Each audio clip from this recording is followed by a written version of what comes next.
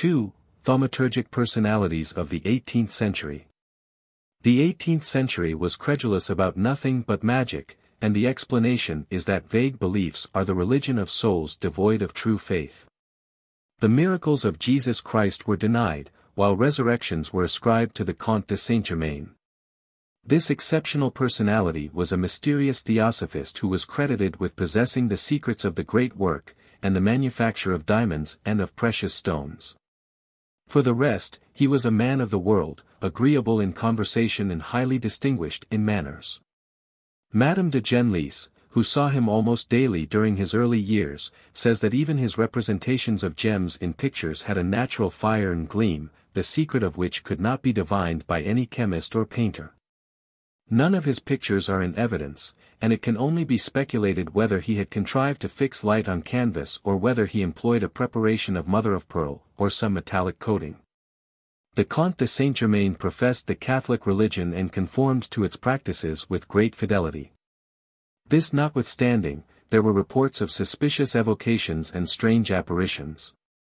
He claimed also to have the secret of eternal youth. Was this mysticism or was it madness? His family connections were unknown and to hear him talk of past events suggested that he had lived for many centuries. Of all that was in kinship with occult science he said but little, and when the benefit of initiation was demanded at his hands he pretended to know nothing on the subject. He chose his own disciples, required passive obedience on their part and then talked of a royalty to which they were called, being that of Melchizedek and Solomon, a royalty of initiation, which is a priesthood at the same time. Be the torch of the world, he said. If your light is that only of a planet, you will be as nothing in the sight of God. I reserve for you a splendor, of which the solar glory is a shadow. You shall guide the course of stars and those who rule empires shall be governed by you. These promises, the proper meaning of which is quite intelligible to true adepts, are recorded substantially, if not in the words here given, by the anonymous author of a history of secret societies in Germany. 307 and they are evidence as to the school of initiation with which the Comte de Saint-Germain was connected. The following details have been so far unknown concerning him. The Comte de Saint-Germain was born at Leitmeritz in Bohemia, at the end of the 17th century. He was either the natural or an adopted son of a Rosicrucian who called himself Comes Cabaliscus, the companion Kabbalist, ridiculed under the name of Comte de Gabalis by the unfortunate Abbé de Villars. 308 Saint-Germain never spoke of his father, but he mentions that he led a life of proscription and errantry in a world of forest, having his mother as companion. This was at the age of seven years, which, however, is to be understood symbolically and is that of the initiate when he is advanced to the grade of master. His mother was the science of the adepts, while the forest, in the same kind of language, signifies empires devoid of the true civilization and light. The principles of Saint Germain were those of the Rosy Cross. And in his own country he established a society from which he separated subsequently when anarchic doctrines became prevalent in fellowships which incorporated new partisans of the Gnosis. Hence he was disowned by his brethren, was charged even with treason, and some memorials on Illuminism seem to hint that he was immured in the dungeons of the castle of Rouen. On the other hand, Madame de Genlis tells us that he died in the Duchy of Holstein, a prey to his own conscience and terrors of the life beyond. 309 It is certain in any case that he vanished suddenly from Paris, no one exactly knowing where, and that his companions in illumination permitted the veil of silence and oblivion to fall as far as possible upon his memory. The association which he had formed under the title of Saint Jachin, which has been turned into Saint Joachim, continued till the Revolution, when it dissolved or was transformed, like so many others. A story is told concerning it in a pamphlet against Illuminism, it is derived from a correspondence in Vienna and, though it is worth reproducing, there is nothing that can be termed certain or authentic therein. Owing to your introduction, I had a cordial welcome from M. N. Z., who had been informed already of my arrival. Of the harmonica he approved highly. He spoke first of all about certain trials, but of this I understood nothing.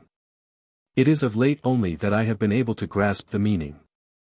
Yesterday, towards evening, I accompanied him to his country house, the grounds of which are very beautiful.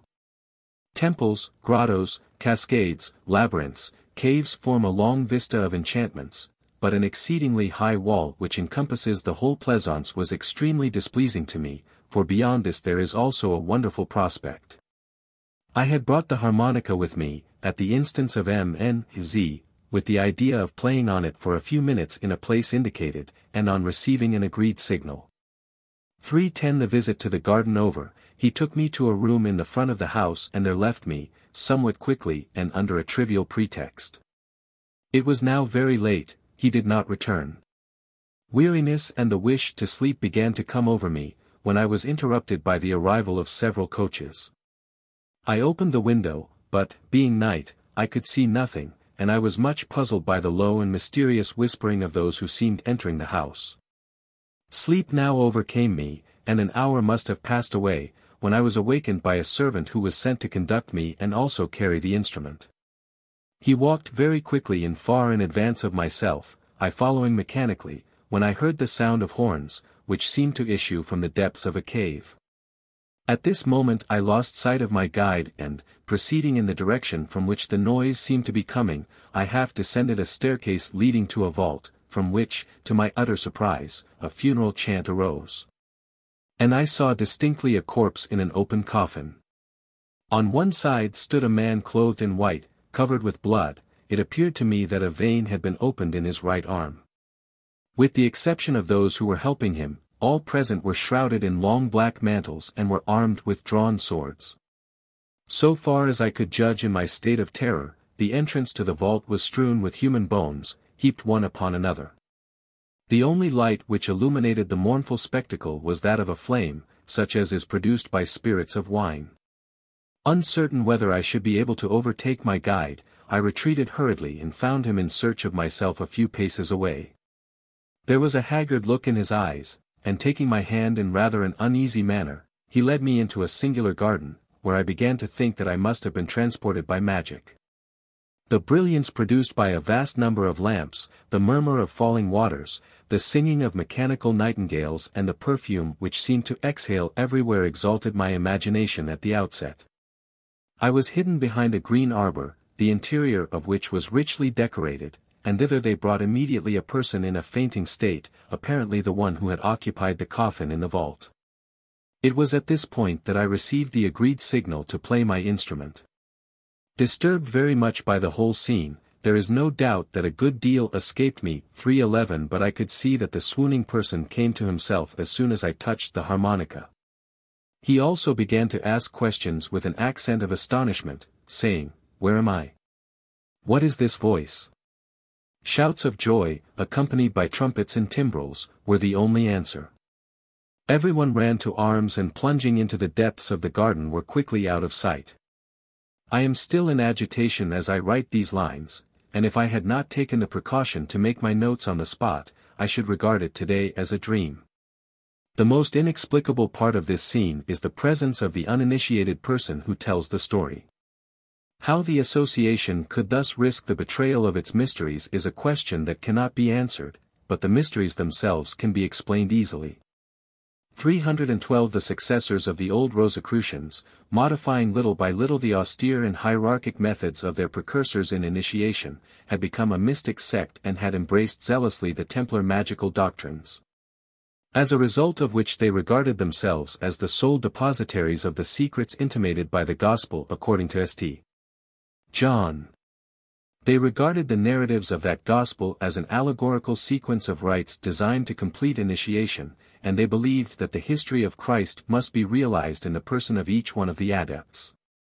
Furthermore, they recounted a Gnostic legend, according to which the Savior, instead of being buried in the new tomb of Joseph of Arimathea, having been swathed and perfumed, was brought back to life in the house of St. John. This was the pretended mystery which they celebrated to the sound of horns and harmonica. 313 The candidate was invited to offer up his life and was actually subjected to bleeding which caused him to swoon. This swoon was called death and when he returned to himself, his resurrection was celebrated amidst outbursts of joy and gladness. The varied emotions produced, the scenes, by turns mournful and brilliant, must have permanently impressed the candidate's imagination, and rendered him either fanatical or lucid. Many believed that a real resurrection took place in themselves and felt convinced that they were no longer subject to death.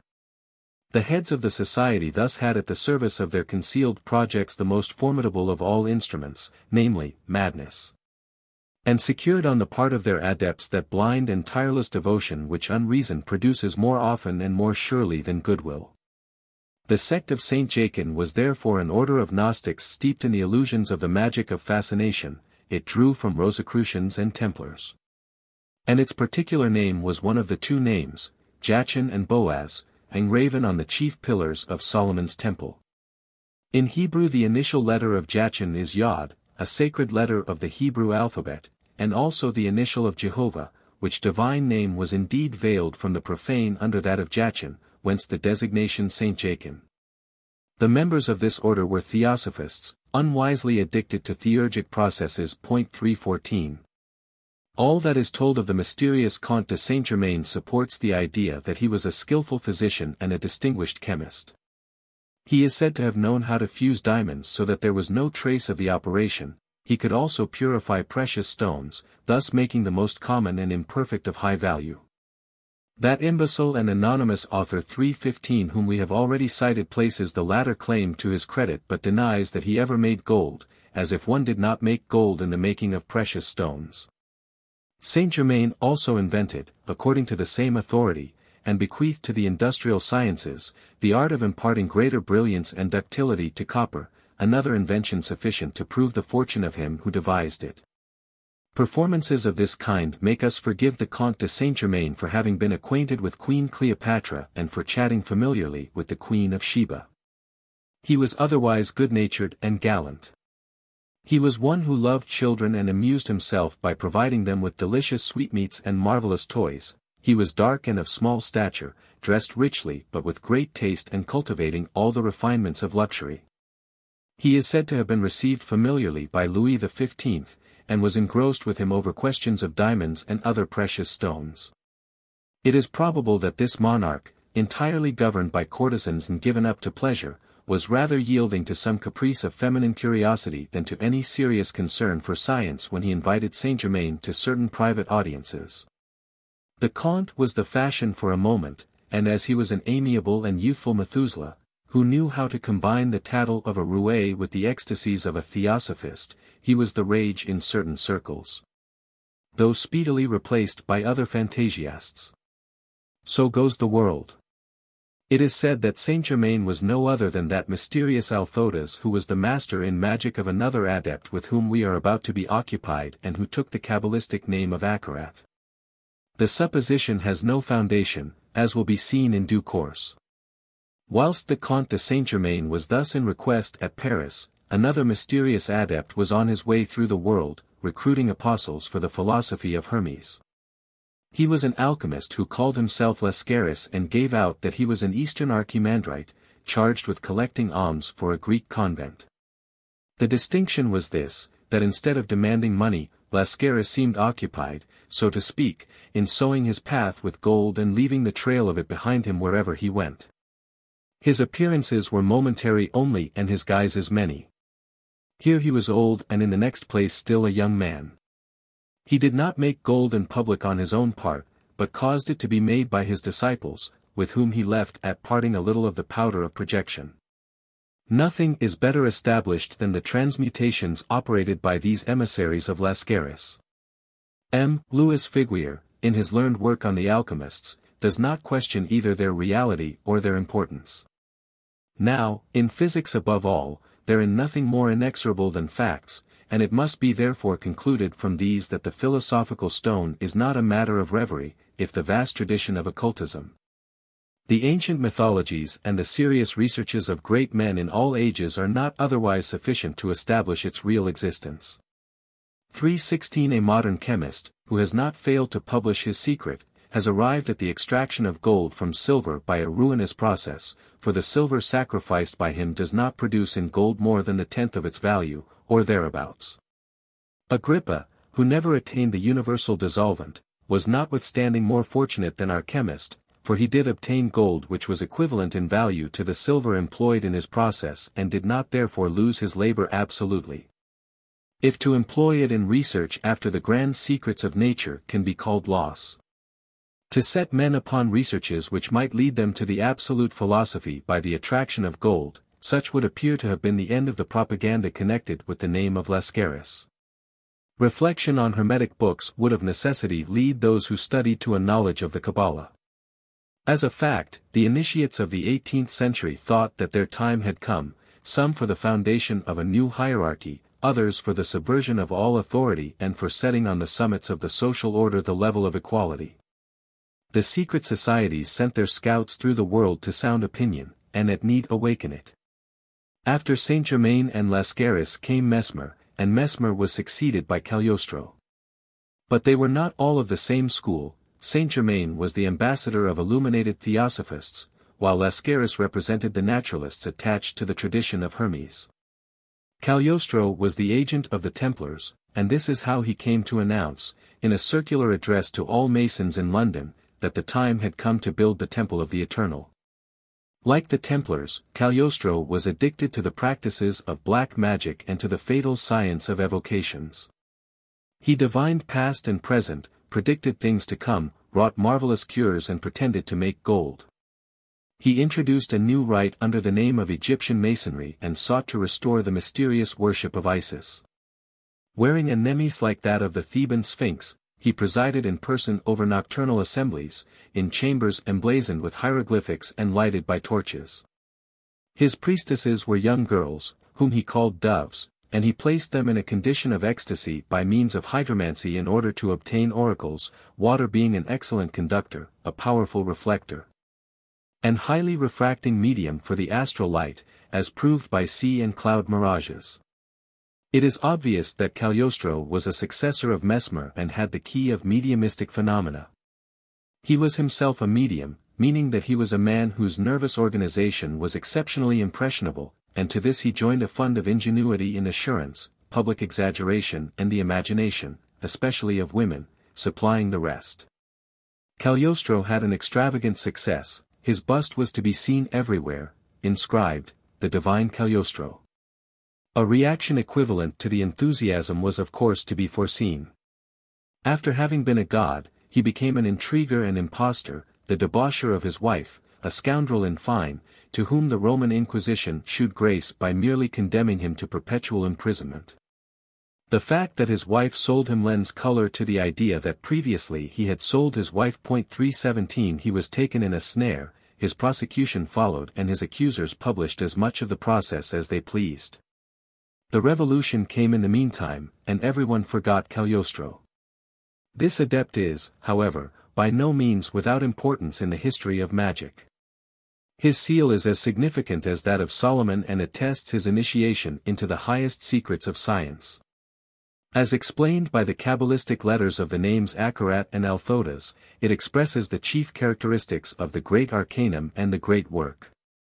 It is a serpent pierced by an arrow, thus representing the letter Aleph, an image of the union between active and passive, spirit and life, will and light. The arrow is that of the antique Apollo, while the serpent is the python of fable, the green dragon of Hermetic philosophy. The letter Aleph represents equilibrated unity. This pantacle is reproduced under various forms in the talismans of old magic, but occasionally the serpent is replaced by the peacock of Juno, the peacock with the royal head and the tail of many colors. This is an emblem of analyzed light, that bird of the magnum opus, the plumage of which is all sparkling with gold. At other times, instead of the emblazoned peacock, there is a white lamb, the young solar ram bearing the cross, as still seen in the armorial bearings of the city of Rouen. The peacock, the ram and the serpent have the same hieroglyphical meaning, that of the passive principle and the scepter of Juno. The cross and arrow signify the active principle, will, magical action, the coagulation of the dissolvent, the fixation of the volatile by projection and the penetration of earth by fire. The union of the two is the universal balance, the great arcanum, the great work, the equilibrium of Jachin and Boaz.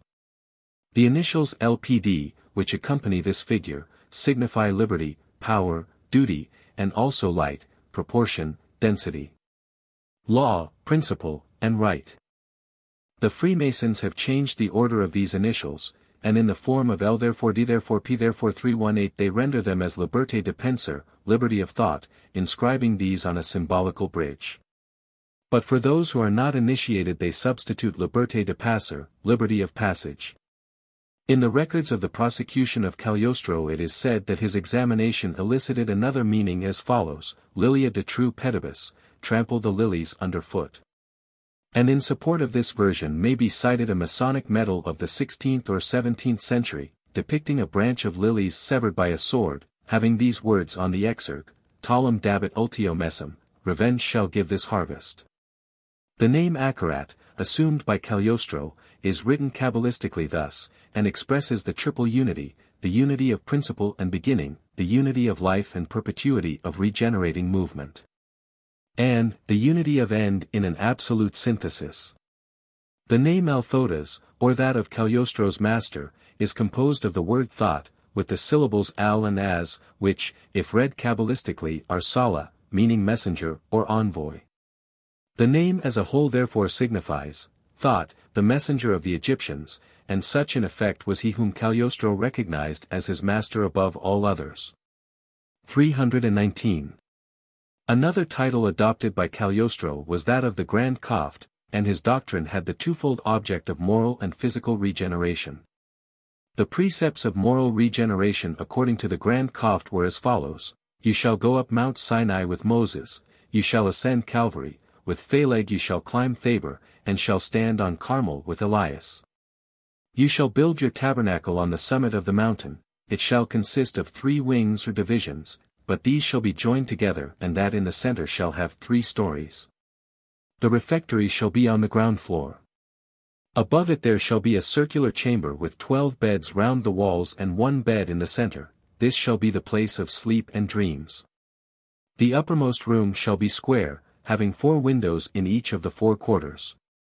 And this shall be the room of light.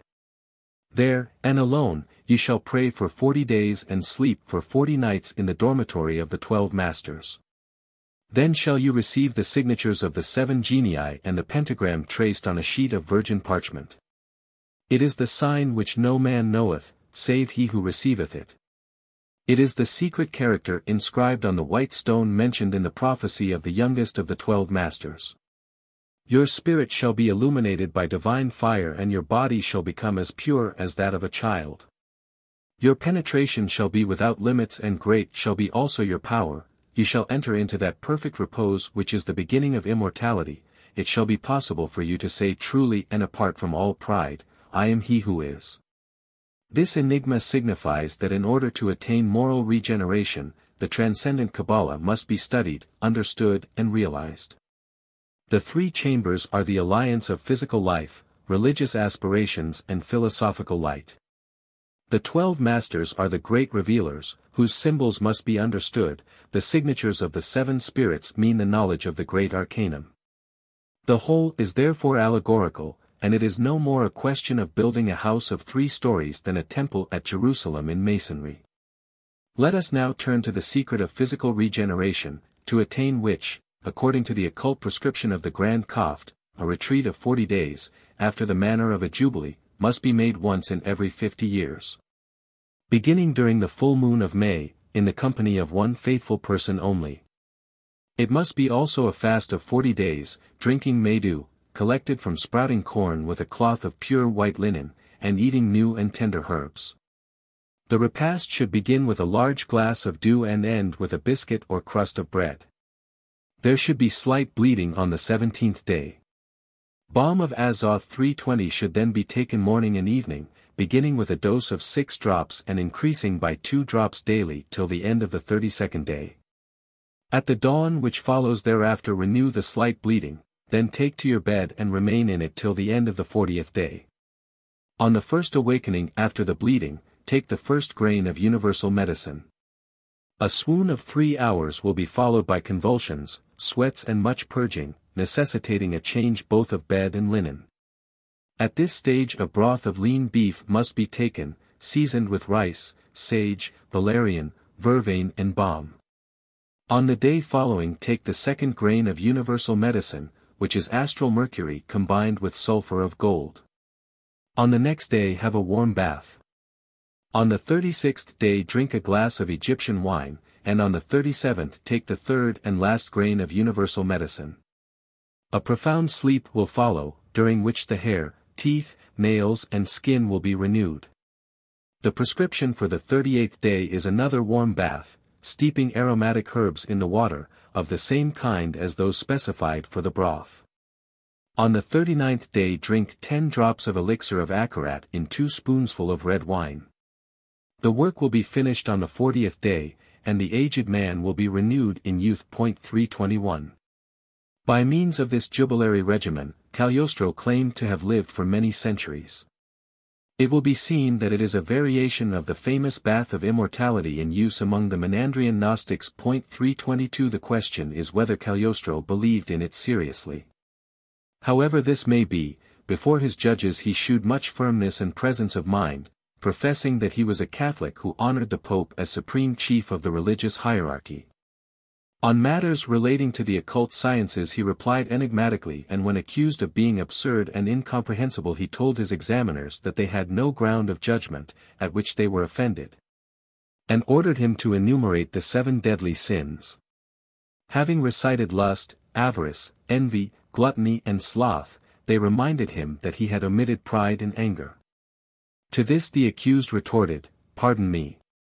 I had not forgotten them, but I did not include them out of respect for yourselves and for fear of offending you further. He was condemned to death, which was afterwards commuted to perpetual imprisonment.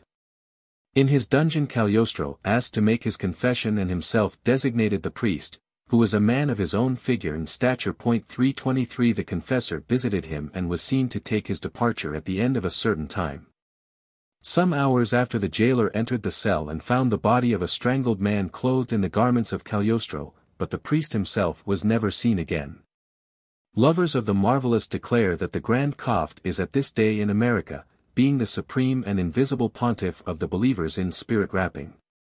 3. Prophecies of Cazotte the school of unknown philosophers founded by Martinus de Pasquale and continued by L. C. de Saint Martin seems to have incorporated the last adepts of true initiation. Saint Martin was acquainted with the ancient key of the tarot, the mystery, that is to say, of sacred alphabets and hieratratic hieroglyphics. He has left many very curious pantacles which have never been engraved and of which we possess copies. One of them is the traditional key of the great work and is called by St. Martin the key of hell, because it is that of riches. 324 The Martinists were the last Christians in the cohort of Illumines, and it was they who initiated the famous Cazotte. We have said that during the 18th century a schism took place in Illuminism. On the one hand, the wardens of the traditions concerning nature and science wished to restore the hierarchy. There were others, on the contrary, who desired to level all things by disclosing the great arcanum, thus rendering the royalty and priesthood alike impossible in the world. Among the latter, some were ambitious and unscrupulous, seeking to erect a throne for themselves over the ruins of the world. Others were dupes and zanies. The true initiates beheld with dismay the launching of society towards the abyss, and they foresaw all the terrors of anarchy. That revolution which was destined at a later period to manifest before the dying genius of Vergniaud under the somber figure of Saturn devouring his children had already shown itself fully armed in the prophetic dreams of Cazotte. On a certain evening, when he was surrounded by blind instruments of the Jacobinism to come, he predicted the doom of all, for the strongest and weakest the scaffold, for the enthusiasts, suicide, and his prophecy. Which at the moment was rather like a somber jest, was destined to be realized amply. 325 As a fact, it was only the calculus of probabilities, and it proved strictly correct because it dealt with chances which had already become fatal consequences. La Harpe, who was impressed by the prediction, amplified the details, to make it appear more marvelous. Point 326 He mentioned, for example, the exact number of times that a certain guest of the moment would draw the razor across his throat. Poetic license of this kind may be forgiven to the tellers of unusual stories, such adornments are of the substance of style and poetry rather than untruths. The gift of absolute liberty to men who are unequal by nature is an organization of social war. When those who should restrain the headlong instincts of the crowd are so mad as to unloose them, it does not need a great magician to foresee that they will be the first to be devoured. Since animal lusts are bound to prey upon one another until the appearance of a bold and skillful huntsman who will end them by shot and snare. Cazotte foresaw Marat, as Marat in his turn foresaw reaction and a dictator. Cazotte made his first appearance in public as the author of some literary trifles and it is said that he owed his initiation to the romance of Le Diable Amoureux.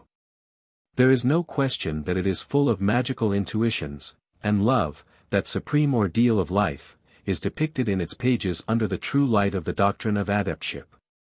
Passion in a state of delirium and folly invincible for those who are slaves of imagination, physical love is but death in the guise of allurement, seeking to renew its harvest by means of birth. The physical Venus is death, painted and habited like a courtesan, Cupid also is a destroyer, like his mother, for whom he recruits victims. When the courtesan is satiated, death unmasks and calls in turn for its prey. This is why the Church, which safeguards birth by sanctifying marriage, lays bare in their true colors the debaucheries which are mortal, by condemning without pity all the disorders of love. If she who is beloved is not indeed an angel, earning immortality by sacrifice to duty in the arms of him whom she loves, she is a strige who expends, exhausts and slays him. Finally exposing herself before him in all the hideousness of her animal egoism. Woe to the victims of the Le Diable thrice woe to those who are beguiled by the lascivious endearments of Biondetta.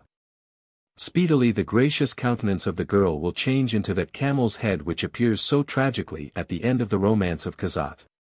According to the Kabbalists there are two queens of the Striges in Sheol, one is Lilith, the mother of abortions, and the other is Nehama, fatal and murderous in her beauty. When a man is false to the spouse set apart for him by heaven, when he is abandoned to the disorders of a sterile passion, God withdraws his legitimate bride and delivers him to the embraces of Nehama who assumes at need all charms of maidenhood and of love. She turns the hearts of fathers, and at her instigation they abandon all the duties owing to their children, she brings married men to widowhood, while those who are consecrated to God she coerces into sacrilegious marriage. When she assumes the role of a wife she is, however, unmasked easily, for on her marriage day she appears in a state of baldness, that hair which is the veil of modesty for womanhood being forbidden her on this occasion. Later on she assumes airs of despair and disgust with existence, she preaches suicide, deserts him who cohabits with her, having first sealed him between the eyes with an infernal star. The Kabbalists say further that Nehama may become a mother but she never rears her children, as she gives them to her fatal sister to devour. These Kabbalistic allegories, which are found in the Hebrew book concerning the revolution of souls, included by Rosenroth in the collection of the Kabbalah Denudata and otherwise met with in Talmudic commentaries on the Sota must have been either known or divined by the author of Le Diable Amoureux.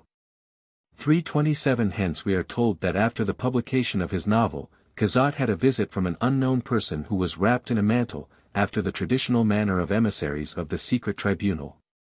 The visitor made signs to Cazotte which he failed to understand and then asked whether indeed he had not been initiated. On receiving a reply in the negative, the stranger assumed a less somber expression and then said, I perceive that you are not an unfaithful recipient of our secrets but rather a vessel of election prepared for knowledge. Do you wish to rule in reality over human passions and over impure spirits? Cazotte displayed his curiosity, a long talk followed, it was the preface to other meetings, and the author of Le Diable Amoureux was called to initiation at the end. He became a devout supporter of order and authority as a consequence and also a redoubtable enemy of anarchists. We have seen that, according to the symbolism of Cagliostro, there is a mountain into which those must go up who are on the quest of regeneration, this mountain is white with light, like Tabor, or red with fire and blood, like Sinai and Calvary. The Zohar says that there are two chromatic syntheses, one of them is white and is that of peace and moral light, the other, which is red, is that of war and material life. The Jacobins had plotted to unroll the standard of blood, and their altar was erected on the Red Mountain. Cazotte was enrolled under the banner of light, and his mystical tabernacle was established on the White Mountain. That which was stained with blood triumphed for a moment, and Cazotte was proscribed. The heroic girl who was his daughter saved him from the slaughter at the abbey. It so happened that the prefix denoting nobility was not attached to her name and she was spared therefore that horrible toast of fraternity which immortalized the filial piety of Mli. De Sombreuil, who, to be vindicated from the charge of aristocracy, drank the health of her father in the blood-stained glass of cutthroats. Cazotte was in a position to foretell his own death, because conscience compelled him to fight against anarchy even to the last.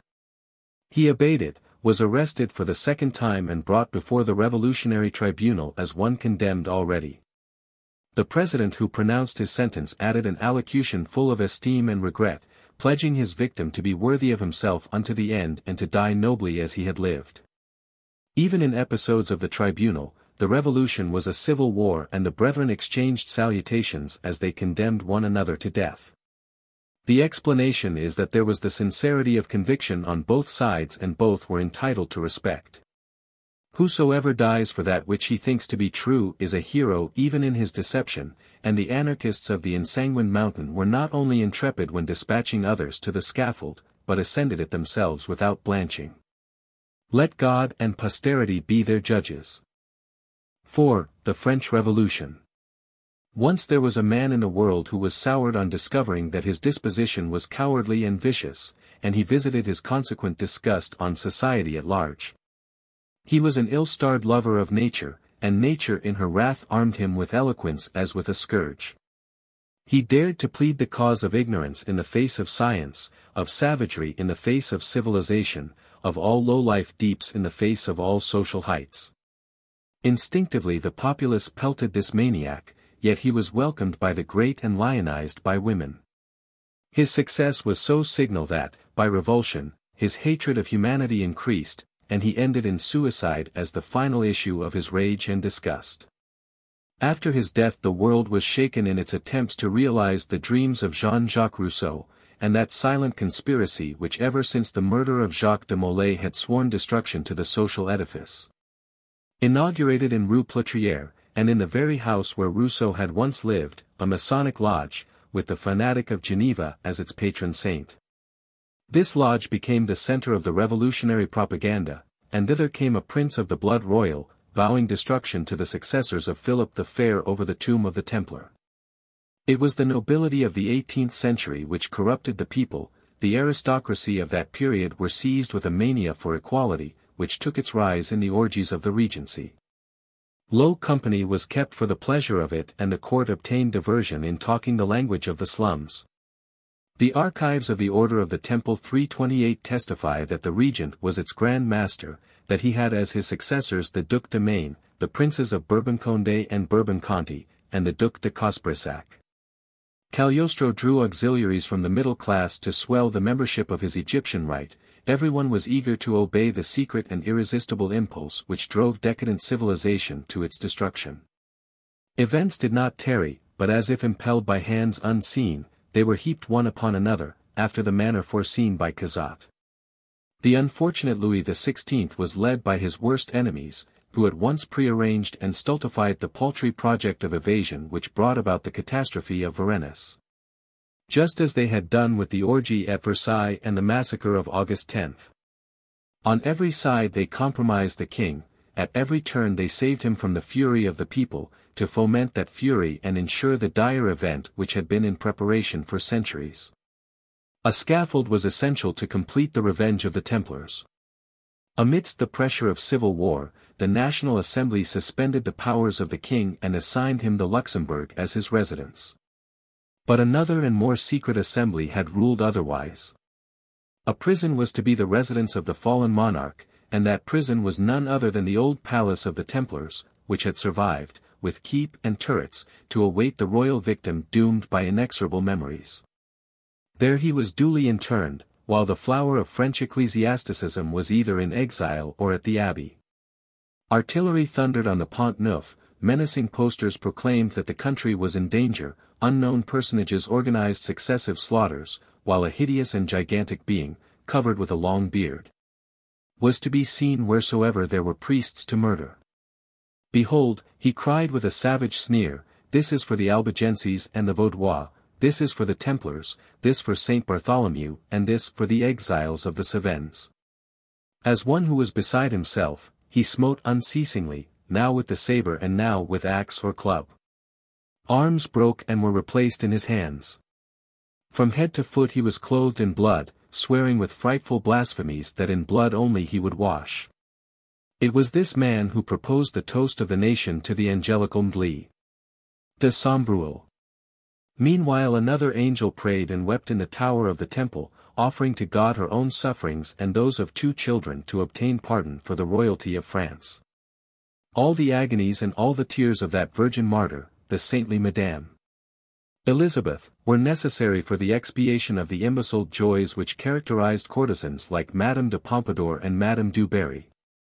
Jacobinism had received its distinctive name before the old Church of the Jacobins was chosen as the headquarters of conspiracy, it was derived from the name Jacques, an ominous symbol and one which spelt revolution. French iconoclasts have always been called Jacques. That philosopher whose fatal celebrity prepared new Jacqueries and was a peg on which to hang the sanguinary projects of Johannite schemers bore the name of Jean-Jacques.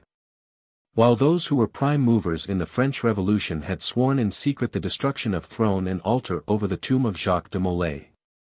At the very moment when Louis XVI suffered under the axe of revolution, the man with a long beard, that wandering Jew, significant of vengeance and murder, ascended the scaffold and, confronting the appalled spectators, took the royal blood in both hands, casting it over the heads of the people, and crying with his terrible voice, People of France, I baptize you in the name of Jacques and of liberty.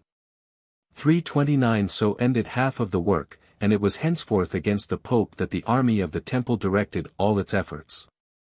Spoliation of churches, profanation of sacred things, mock processions, inauguration of the cultus of reason in the metropolis of Paris, these were the signals in chief of the war in its new phase. The Pope was burnt in effigy at the Palais Royal, and presently the armies of the Republic prepared to march on Rome. Jacques de Molay and his companions were martyrs possibly, but their avengers dishonored their memory. Royalty was regenerated on the scaffold of Louis XVI, the church triumphed in the captivity of Pius VI, when he was taken a prisoner to Valence, perishing of fatigue and suffering. But the unworthy successors of that old chivalry of the temple perished in their turn, overwhelmed by disastrous victory. Signal abuses had characterized the ecclesiastical state and grave scandals were entailed by the misfortune of great riches.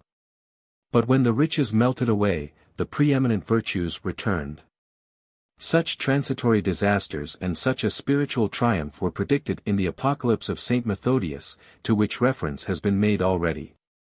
We have a black-letter copy of the work mentioned, printed in 1527 and embellished with amazing designs.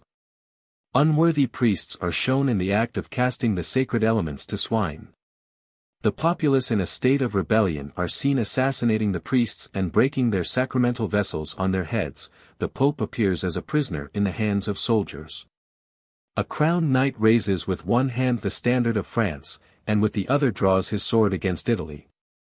Finally, two eagles are depicted on either side of a cock, bearing a crown on his head and a double fleur de lis on his breast.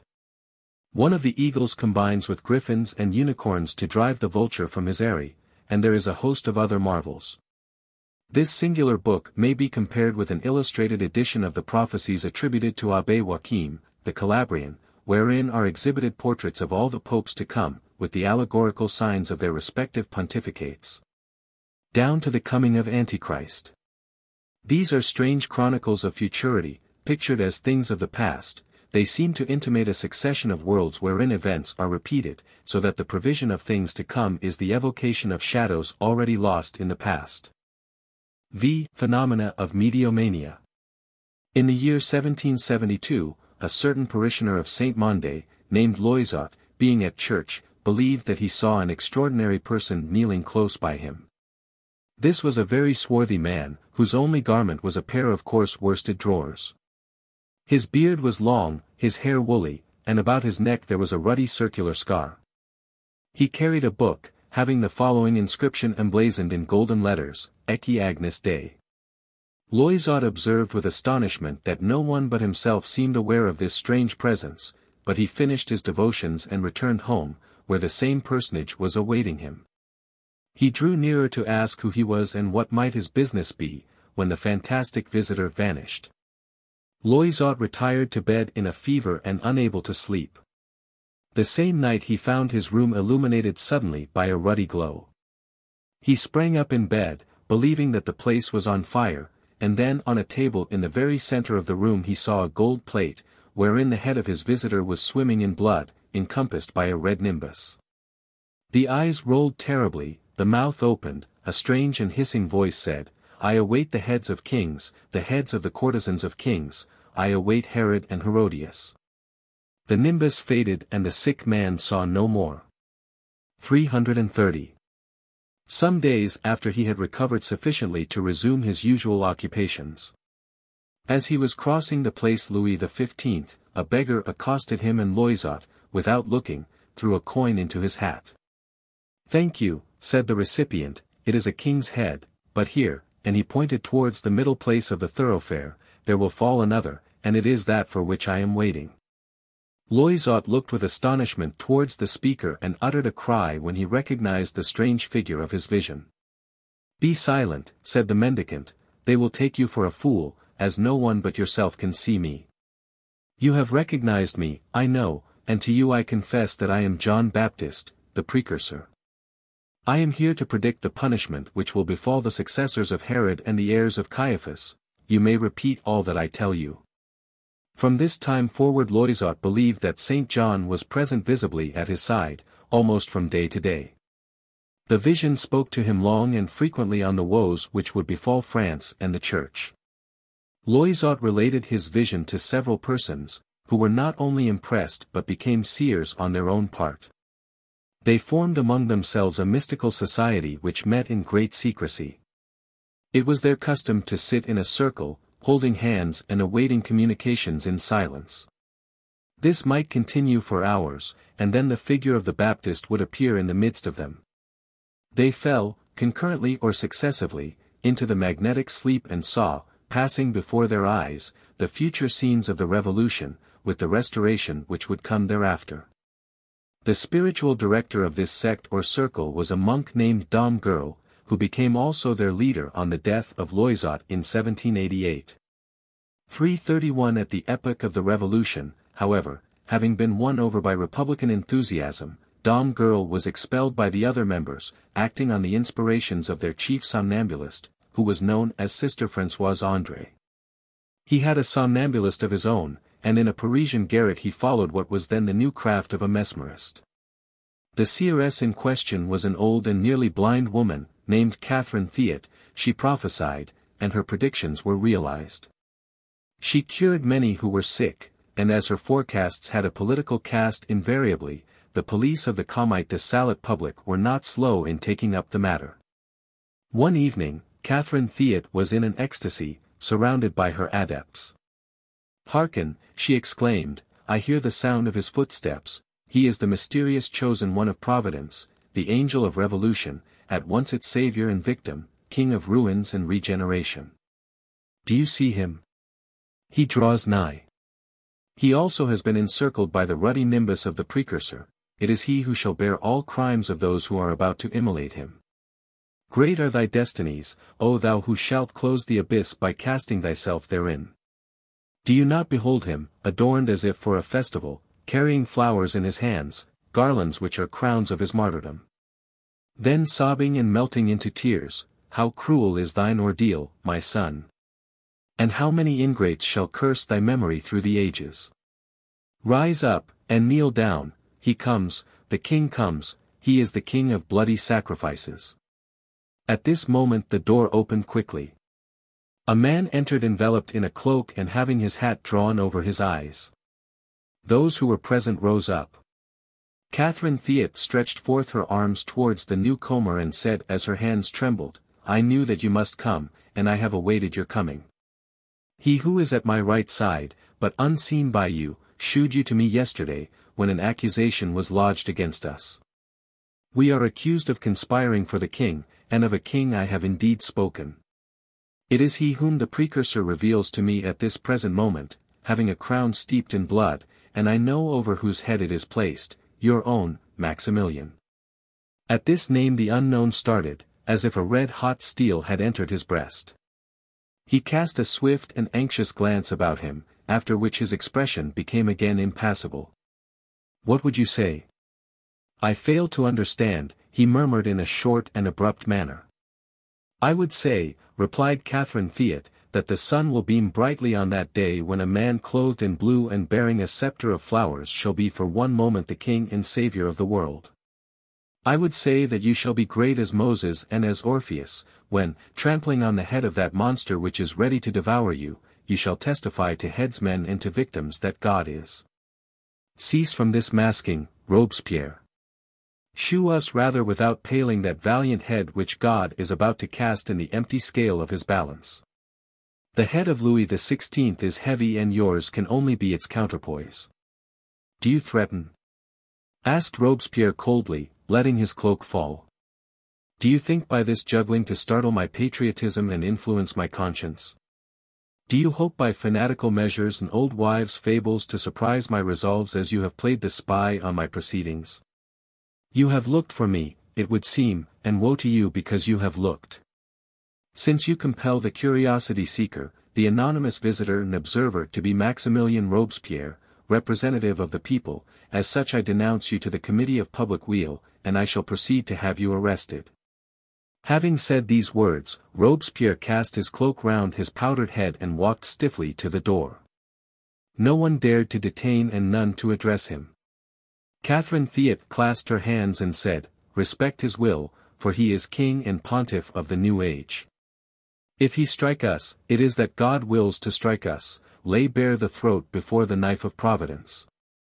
The initiates of Catherine Theot waited expecting their arrest through the whole night, but no one appeared.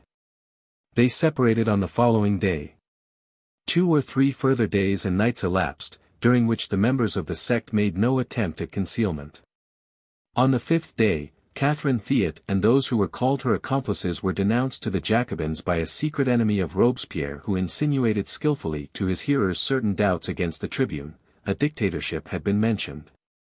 The very name of king was pronounced. Robespierre knew, and how came he to tolerate it? Robespierre shrugged his shoulders, but on the morrow Catherine Theot, Dom Gerle and some others were arrested and consigned to those prisons which, once entered, opened only to furnish his daily task to the headsman. The story of Robespierre's interview with Catherine Theot had transpired, one knows not how. Point 332 Already the counter-police of the Thermidorians were watching the presumed dictator, whom they accused of mysticism because he believed in God. Robespierre notwithstanding was neither the friend nor enemy of the sect of New Johannites. He went to Catherine Theot that he might take account of phenomena, and dissatisfied at having been recognized he departed with threats which he did not attempt to fulfill. Those who converted the conventicle of the old monk and ecstatic into a sect of conspiracy hoped to derive from the proceeding a doubt or an opportunity for ridicule attaching to the reputation of the incorruptible Maximilian. The prophecy of Catherine Theot was fulfilled by the inauguration of the worship of the Supreme Being and the swift reaction of Thermidor. During this time the sect which had gathered about Sister André, whose revelations were recorded by a Sieur Duché, continued their visions and miracles. The fixed notion which they cherished was to preserve the legitimacy by the future reign of Louis XVII. 333 times out of number they saved and dreamed the poor little orphan of the temple and believed also that they had saved him literally. Old prophecies promised the throne of the lilies to a young man who had been once a captive. So Bridget, Saint Hildegard, Bernard Tallard, Lichtenberger, all foretold a miraculous restoration after great disasters. 334 The Neo-Johannites were the interpreters and multipliers of these forecasts, a Louis XVII never failed them, they had seven or eight in succession, all perfectly authentic and not less perfectly preserved. It is to the influence of this sect that we owe at a later period the revelations of the peasant Martin de Gallardon and the prodigies of Vintras. In this magnetic circle, as in the assemblies of Quakers or Shakers of Great Britain, enthusiasm proved contagious, and was propagated from one to another. After the death of Sister André, second sight and the gift of prophecy devolved upon a certain Legros, who was at Charenton when Martin was incarcerated provisionally therein. He recognized a brother in the Beauceron peasant whom he had never seen. All these partisans, by force of willing Louis XVII created him in a certain sense. That is to say, they worked such efficacious hallucinations that mediums were made in the image and likeness of the magnetic type, and believing themselves to be literally the royal child escaped from the temple. They attracted all the reflections of this gentle and frail victim, so even that they remembered circumstances known only to the family of Louis XVI. This phenomenon, however incredible it may appear, is neither impossible nor unheard of. Paracelsus states that if, by an extraordinary effort of will, one can picture oneself as another person, one would know thereby and forth with the inmost thought of that person, and would attract his most secret memories. Often after a conversation which has placed us in thought affinity with a companion in conversation, we dream reminiscences of his private life. Among the simulators of Louis XVII we must therefore recognize some who were not impostors, but hallucinated beings, and among these last is the Swiss who is named Naundorff, a visionary like Swedenborg. One indeed so contagious in his conviction that old servants of the royal family have recognized him and cast themselves weeping at his feet.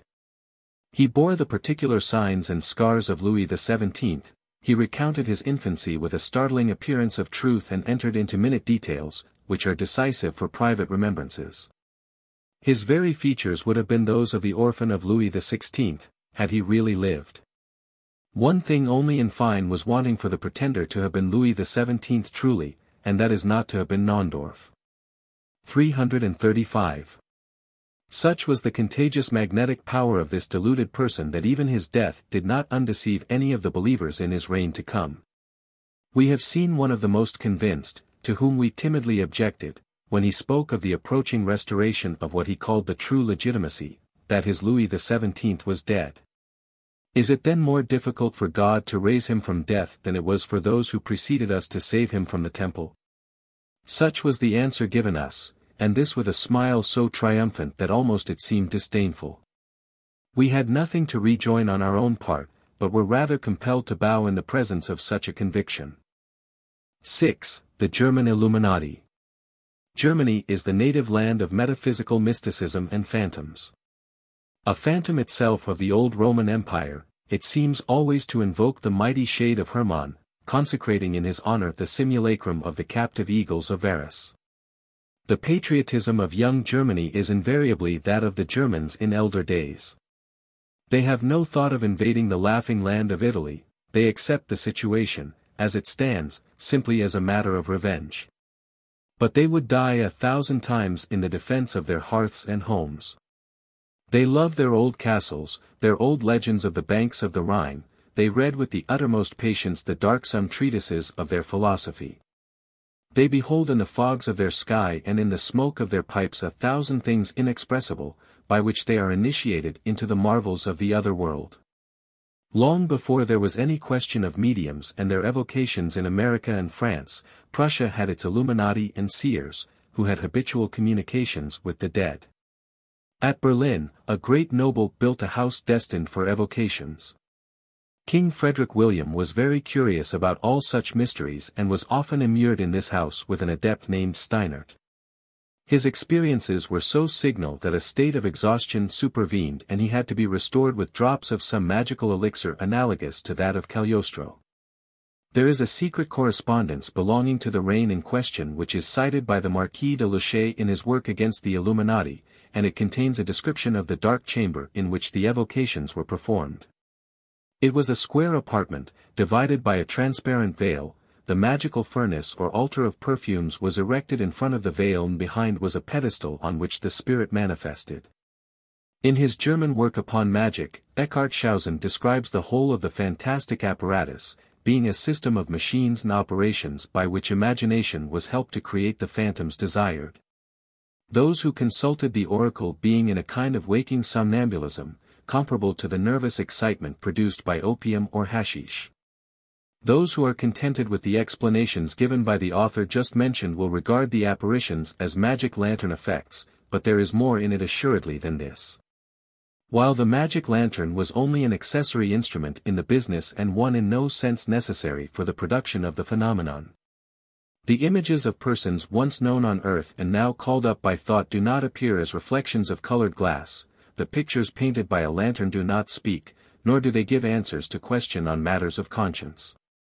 The King of Prussia, to whom the house belonged, was well acquainted with all the apparatus and was not therefore duped by jugglery, as the author of the secret correspondence pretends. The natural means paved the way for the prodigy but did not perform the latter, and the things which occurred were of a kind to surprise and disturb the most inveterate skeptic. 336 Schroepfer, moreover made use of no magic lantern and no veil, but those who came to him drank a kind of punch which he prepared. The forms which then appeared by his mediation were like those of the American Home, that is to say, partially materialized, and they caused a curious sensation in persons who sought to touch them. The experience was analogous to an electric disturbance, making the flesh creep, and there would have been no such sensation if people had moistened their hands before touching the apparition. Schroepfer acted in good faith, as does also the American Home, he believed in the reality of the spirits evoked by him, and he killed himself when he began to doubt it. 337. Lavater, who also died violently, was utterly given over to evocations. He had two spirits at his command and belonged to a circle which cultivated catalepsy by the help of a harmonica. A magical chain was formed, a species of imbecile served as the spirit's interpreter and wrote under his control. 338 This spirit gave out that he was a Jewish Kabbalist who died before the birth of Jesus Christ, and the things which the medium recorded under his influence were worthy of Cahagnet somnambulists. 339 There was, for example, a revelation on sufferings in the life beyond. The communicating spirit stating that the soul of the Emperor Francis was compelled to calculate the number and exact condition of all the snail shells which may exist and have existed in the whole universe. He made known also that the true names of the three magi were not, as tradition tells us, Gaspar, Melchior and Balthazar, but on the contrary Vrazapharmion, Melchizedek and Baliathrasaran. It is like reading the names written by our modern process of table turning. The Spirit also testified that he was himself doing penance for having threatened his father with the magical sword and that he felt disposed to make his friends a present of his portrait. Paper, paints and brushes were placed at his request behind a screen, he was then seen to design on the screen the outline of a small hand, a slight friction was audible on the paper. When it ceased everyone pressed forward and found rudely painted the likeness of an old rabbi vested in black, with a white ruffle over the shoulders and a black skullcap. A costume altogether eccentric for a personage who was anterior to Jesus Christ. The painting, for the rest, was smudged and ill-drawn, resembling the work of a child amusing himself by daubing with eyes shut. 340 The written instructions of the medium under the inspiration of Gablidone vie in their obscurity with the characteristics of German metaphysicians. The attribute of majesty must not be conferred lightly, says this authority, for majesty is a derivation from mage, seeing that the magi were pontiffs and kings, they were therefore the primeval majesties. It is against the majesty of God that we offend when we sin mortally, we wound him as Father, casting death into the sources of life. The fountain of the Father is light and life, that of the Son is blood and water. While the splendor of the Holy Spirit is fire and gold. We sin against the Father by falsehood, against the Son by hatred and against the Holy Spirit by debauchery, which is the work of death and destruction. The good Lavater received these communications like oracles and when he asked for some further illuminations, Gablidone proceeded as follows, The great revealer of mysteries shall come, and he will be born in the next century. The religion of the patriarchs will then be known on earth, it will explain to mankind the triad of Aegon, Helion, Tetragrammaton, and the Saviour whose body is girt with a triangle shall be shown on the fourth step of the altar. The apex of the triangle will be red and the device of mystery thereon will be, Venite ad patres osful. One of the auditors demanded the meaning of the last word, and the medium wrote as follows without other explanations, Alphas, M. Aphon, Eliphismatus. Certain interpreters have concluded that the Magus whose advent was announced in the course of the 19th century would be named Maphon and would be the son of Eliphisma, but this reading may be somewhat speculative. There is nothing more dangerous than mysticism, for the mania which it begets baffles every combination of human wisdom. It is ever the fools who upset the world and that which great statesmen never foresee is the desperate work of a maniac. The architect of the temple of Diana at Ephesus promised himself eternal glory, but he counted without Erostratus. The Girondins did not foresee Marat. What is needed to alter the equilibrium of the world? Asked Pascal, on the subject of Cromwell. The answer is, a speck of gravel formed by chance in the entrails of a man. So do the great events come about through causes which in themselves are nothing. When any temple of civilization crashes down, it is always the work of a blind man, like Samson, who shakes the pillars thereof. Some wretched preacher, belonging to the dregs of the people, is suffering from insomnia and believes himself elected to deliver the world from Antichrist. Accordingly he stabs Henry IV and reveals to France in its consternation the name of Ravaillac. The German thaumaturgists regarded Napoleon as the Apollyon mentioned in the Apocalypse and one of their neophytes, named Stabs, came forward to kill the military atlas. Who at the given moment was carrying on his shoulders a world snatched from the chaos of anarchy. But that magnetic influence which the emperor called his star was more potent than the fanatical impulse of the German occult circles. Stabs could not or dared not strike, Napoleon himself questioned him, he admired his resolution and courage. But, as he understood his own greatness, he would not detract from the new Scaevola by forgiving him, he shewed his estimation indeed by taking him seriously and allowing him to be shot. Karl Sand, who killed Kotzebue, was also an unfortunate derelict child of mysticism, misled by the secret societies, in which vengeance was sworn upon daggers. Kotzebue may have deserved cudgeling, but the weapon of Sand reinstated and made him a martyr. It is indeed grand to perish as the enemy and victim of those who wreak vengeance by means of ambuscades and assassinations. The secret societies of Germany practiced rites which were less or more comparable to those of magic. In the Brotherhood of Mopses, for example, the mysteries of the Sabbath and the secret reception of Templars were renewed in mitigated and almost humorous forms. The Baphometic goat was replaced by a dog, as if Hermanubis were substituted for Pan, or science for nature, the latter being an equivalent change, since nature is known solely by the intermediation of science. The two sexes were admitted by the Mopses, as was the case at the Sabbath. The reception was accompanied by barkings and grimaces, and, as among the Templars, the neophyte was invited to take his choice between kissing the back parts of the devil, the Grand Master or the mops, which was a small image of cardboard. Covered with silk, and representing a dog, called mops in German. The salutation in question was the condition of reception and recalls that which was offered to the goat of Mendes in the initiations of the Sabbath.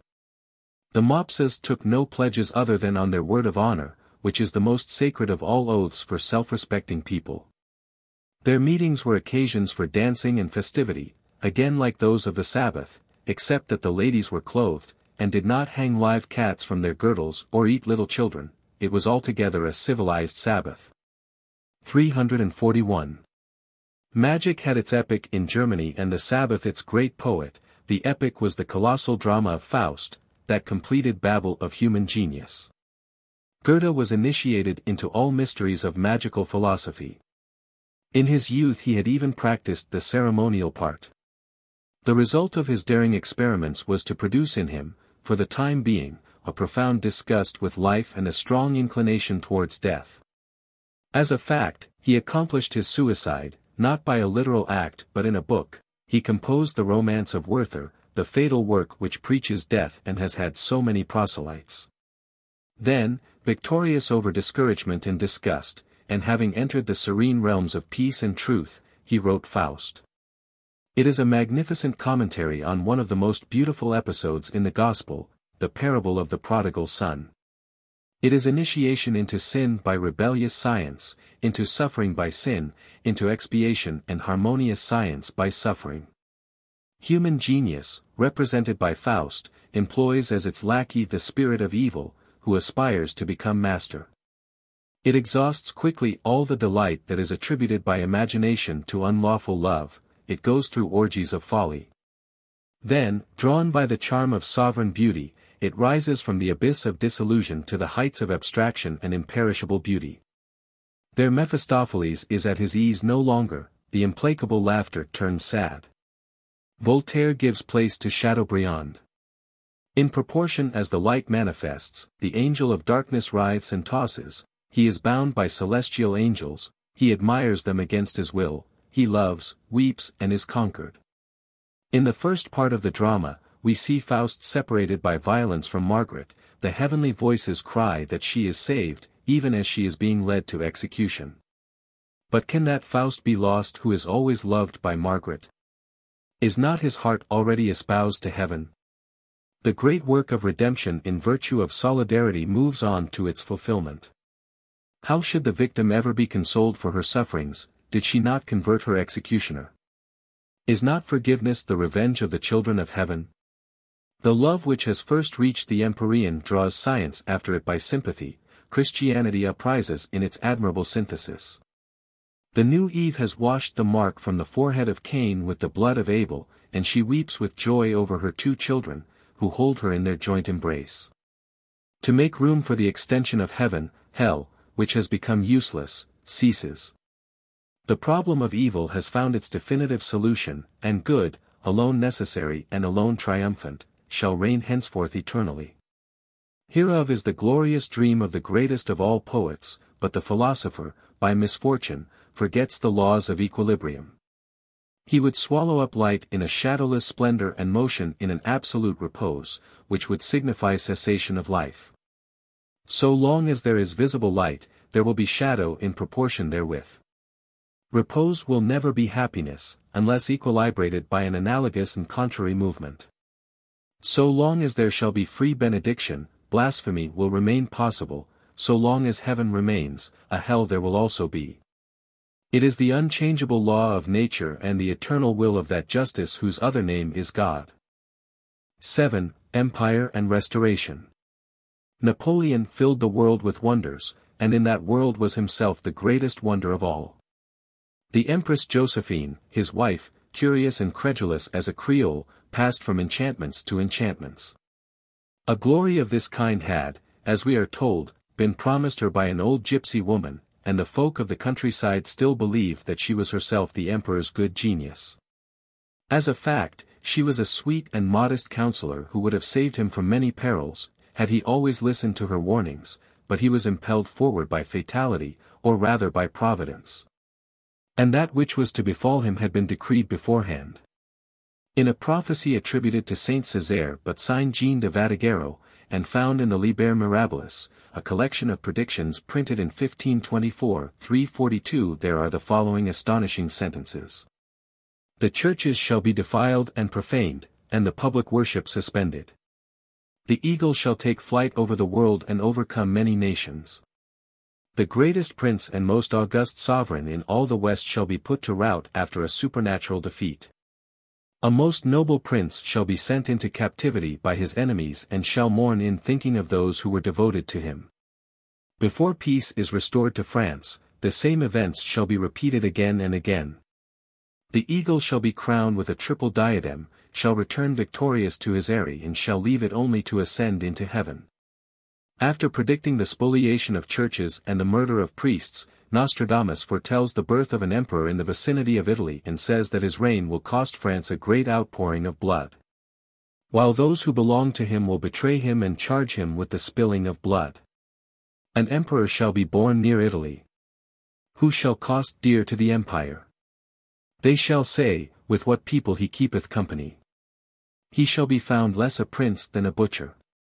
From a simple soldier he shall come to have the supreme command. From a short gown he shall come to the long one. Valiant in arms, no worse man in the church. He shall vex the priests, as water doth a sponge. 343. This is to say that at the moment when the church experiences the greatest calamities, he will overwhelm the priests with benefits. In a collection of prophecies published in 1820, and of which we possess a copy, the following phrase occurs after a prediction concerning Napoleon I, and the nephew will accomplish that which the uncle failed to do. The celebrated Mlie. Lenormand had in her library a volume in boards with a parchment back, containing the treatise of Olivarius on prophecies, followed by ten manuscript pages, in which the reign of Napoleon and his downfall were announced formally. The seeress imparted the contents of this work to the Empress Josephine. Having mentioned MLLE Lenormand, a few further words may be added about this singular woman. She was stout and extremely plain, emphatic in talk, ludicrous in style, but a waking somnambulist of conspicuous lucidity. She was the fashionable seeress under the First Empire and the Restoration. There is nothing more wearisome than are her writings, but as a teller of fortunes by cards she was most successful. Cartomancy, as restored in France by Etteilla, is literally the questioning of fate by signs agreed on beforehand. These in combination with numbers suggest oracles to the medium, who is biologized by staring at them. The signs are drawn by chance, after having shuffled them slowly. They are arranged according to Kabbalistic numbers, and they respond invariably to the thoughts of those who question them, seriously and in good faith, for all of us carry a world of presentiments within us which any pretext will formulate. Susceptible and sensitive natures receive from us a magnetic shock which conveys to them the impression of our nervous state. The medium can then read our fears and hopes in ripples of water, forms of clouds, counters cast haphazard on the ground, in the marks made on a plate by the grouts of coffee, in the lottery of a card game, or in the tarot symbols. As an erudite Kabbalistic book, all combinations of which reveal the harmonies pre-existing between signs, letters, and numbers, the practical value of the tarot is truly and above all marvelous. But we cannot with impunity, by such means, extort from ourselves the secrets of our intimate communication with the universal light. The questioning of cards and tarots is a literal evocation, which cannot be performed apart from danger and crime. By evocations we compel our astral body to appear before us, in divination we force it to speak. We provide a body for our chimeras by so doing, and we make approximate reality of that future which will actually become ours when it is called up by power of the word and is embraced by faith. To acquire the habit of divination and of magnetic consultations is to make a compact with vertigo, and we have established already that vertigo is hell. MLLE Lenormand was infatuated with herself and with her art. She thought that the world could not go on without her and that she was necessary to the equilibrium of Europe. At the Congress of Aix-la-Chapelle, the seeress made her appearance with all her properties, did business at all the customs, and pestered all the authorities, so that they were compelled in a sense to concern themselves with her. She was truly the fly on the wheel, and what a fly. On her return she published her impressions with a frontispiece representing herself surrounded by all the powers, who consulted her and trembled in her presence. 344. The great events which had just come to pass in the world turned all minds towards mysticism, a religious reaction began and the royalties constituting the Holy Alliance felt the need of attaching their united scepters to the cross. The Emperor Alexander in particular believed that the hour was come for Holy Russia to convert the world to universal orthodoxy. The intriguing and turbulent sect of the saviors of Louis XVII sought to profit by this tendency for the foundation of a new priesthood, and it succeeded in introducing one of its seeresses to the notice of the Russian emperor. Madame Bouche was the name of this new Catherine Theot, but she was called Sister Salome by the sect. 345 She spent 18 months at the imperial court and had many secret conferences with Alexander, but he had more of pious imagination than true enthusiasm, he delighted in the marvelous and pretended that it amused him. It came about that his confidence in this class of interests presented him with another prophetess, and Sister Salome was forgotten. Her successor was Madame de Krüdener, an amiable coquette full of piety and virtue, who created but was not herself Valerie. 346 It was, however, her ambition to pass as the heroine of her own book, and when one of her intimate friends pressed her to identify the hero, she mentioned an eminent personality of that period. Ah then, said her friend, the catastrophe of your book is not in conformity with the facts, for the gentleman in question is not dead. But Madame de Krüdener replied, Oh, my dear, he is little better than dead, and the retort was her fortune. The influence of Madame de Krüdener on the somewhat weak mind of Alexander was strong enough to concern his advisers, he was often shut up with her in prayer, but in the end she was lost by excess of zeal. One day the emperor was taking leave of her when she threw herself before him, conjuring him not to go out and explaining how God had made known to her that he was in great danger, that there was a plot against his life. And that an assassin was concealed in the palace. The emperor was alarmed and summoned the guards, a search followed, and some poor wretch was ultimately discovered with a dagger. In confusion he finished by confessing that he had been introduced by Madame de Krüdener herself. 347 Was it true, and had the lady played the part of Latude in the vicinity of Madame de Pompadour? Was it false, and, secreted by the emperor's enemies, was the man's mission, in the event of the murder failing, to destroy Madame de Krüdener? Either way, the poor prophetess was lost, for the emperor, in his shame at being regarded as a dupe, sent her about her business without hearing her, and she had reason to think herself fortunate in escaping so easily. The little church of Louis XVII did not conclude that it was beaten by the disgrace of Madame Bouche, while in that of Madame de Krüdener it beheld a divine punishment. The prophecies continued and were reinforced, as required, by miracles. In the reign of Louis XVIII they put forward a peasant of La Beaucie, named Martin, 348 who declared that he had seen an angel. From the description which he gave the angel in question was in the guise of a lackey belonging to some good family. He had a long surtout, cut very close at the waist and of a yellow color, he was pale and thin, with a hat which was probably adorned with gold lace. The strange thing is that the seer managed to be taken seriously and obtained an interview with the king, furnishing one more instance of the resources in persistence and boldness. It is said that the king was astonished by revelations concerning his private life, in which there is nothing that is impossible or even of an extraordinary nature, now that the phenomena of magnetism are better authenticated and known. Moreover, Louis XVIII was sufficiently skeptical to be credulous. Doubt in the presence of existence and its harmonies, skepticism in the face of the eternal mathematics and immutable laws of life. By which divinity is manifested everywhere, this assuredly is the most imbecile of superstitions and the least excusable, as it is the most dangerous, of all credulities. Book 7 Magic in the Nineteenth Century, Zain. I. Magnetic Mystics and Materialists. The denial of the fundamental doctrine of Catholic religion, formulated so magnificently in the poem of Faust, had borne its fruits in the world. Morality deprived of its eternal sanction became doubtful and unsettled.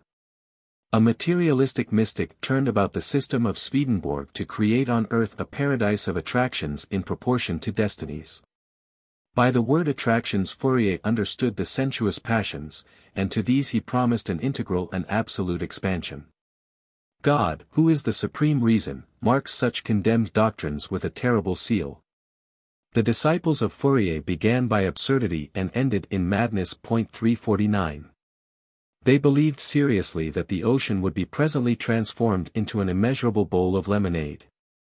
They believed also in the future creation of anti-lions and anti-serpents, in epistolary correspondence to be established between the planets. We forbear speaking of the famous tail, 32 feet in length, with which it is reported that the human species was to be adorned, because it would appear that they had the generosity to set this notion aside as, according to their master, a purely hypothetical question. To such absurdities does the denial of equilibrium lead. And at the bottom of all these follies there is more logic than would be thought. The same reason which necessitates suffering in humanity renders indispensable the bitterness of seawater. Grant the integral expansion of instincts, and you can no longer admit the existence of wild beasts. Endow man with the capacity of satisfying his appetites as the sum of all morality, and he will still have something to envy in orangutans and monkeys. To deny hell is also to deny heaven, seeing that, according to the most exalted interpretation of the great Hermetic dogma, hell is the equilibrating reason of heaven, for harmony results from the analogy of contraries. Quod superius, sicut quod inferius. Superiority presupposes inferiority, the depth determines the height, and to fill up the valleys is to efface mountains. So also to take away shadows would be to destroy light, as this is only visible by the graduated contrast of darkness and day, and universal obscurity would be produced by all dazzling brilliance. The very existence of colors in light is due to the presence of shadow, it is the triple alliance of day and night, the luminous image of dogma, the light made shadow, as the Savior is the Word made man. All this rests on the same law, which is the first law of creation, the one absolute law of nature, being that of the distinction and harmonious balancing of opposing forces in universal equilibrium. That which has revolted public conscience is not the dogma of hell but its rash interpretation. Those barbarous dreams of the Middle Ages, those atrocious and obscene tortures, sculptured on the porticos of churches, that infamous cauldron for the cooking of human flesh which lives forever, so that it may forever suffer. While the elect are rejoiced by the smoke, all this is absurd and impious. But none of it belongs to the sacred doctrine of the Church. The cruelty attributed to God constitutes the most frightful of blasphemies, and it is precisely for this reason that evil is forever irremediable while the will of man rejects the divine goodness. God inflicts the tortures of reprobation on those who are damned only as he causes the death of the suicide. Work in order to possess, and you will be happy, so speaks the supreme justice to man. I would possess and enjoy without labor. You will then be a robber and will suffer. I will rebel. You will be broken and will suffer further. I will rebel forever. Then shall you suffer eternally. Such is the decree of the absolute reason and the sovereign justice, what can be answered hereto by human pride and folly?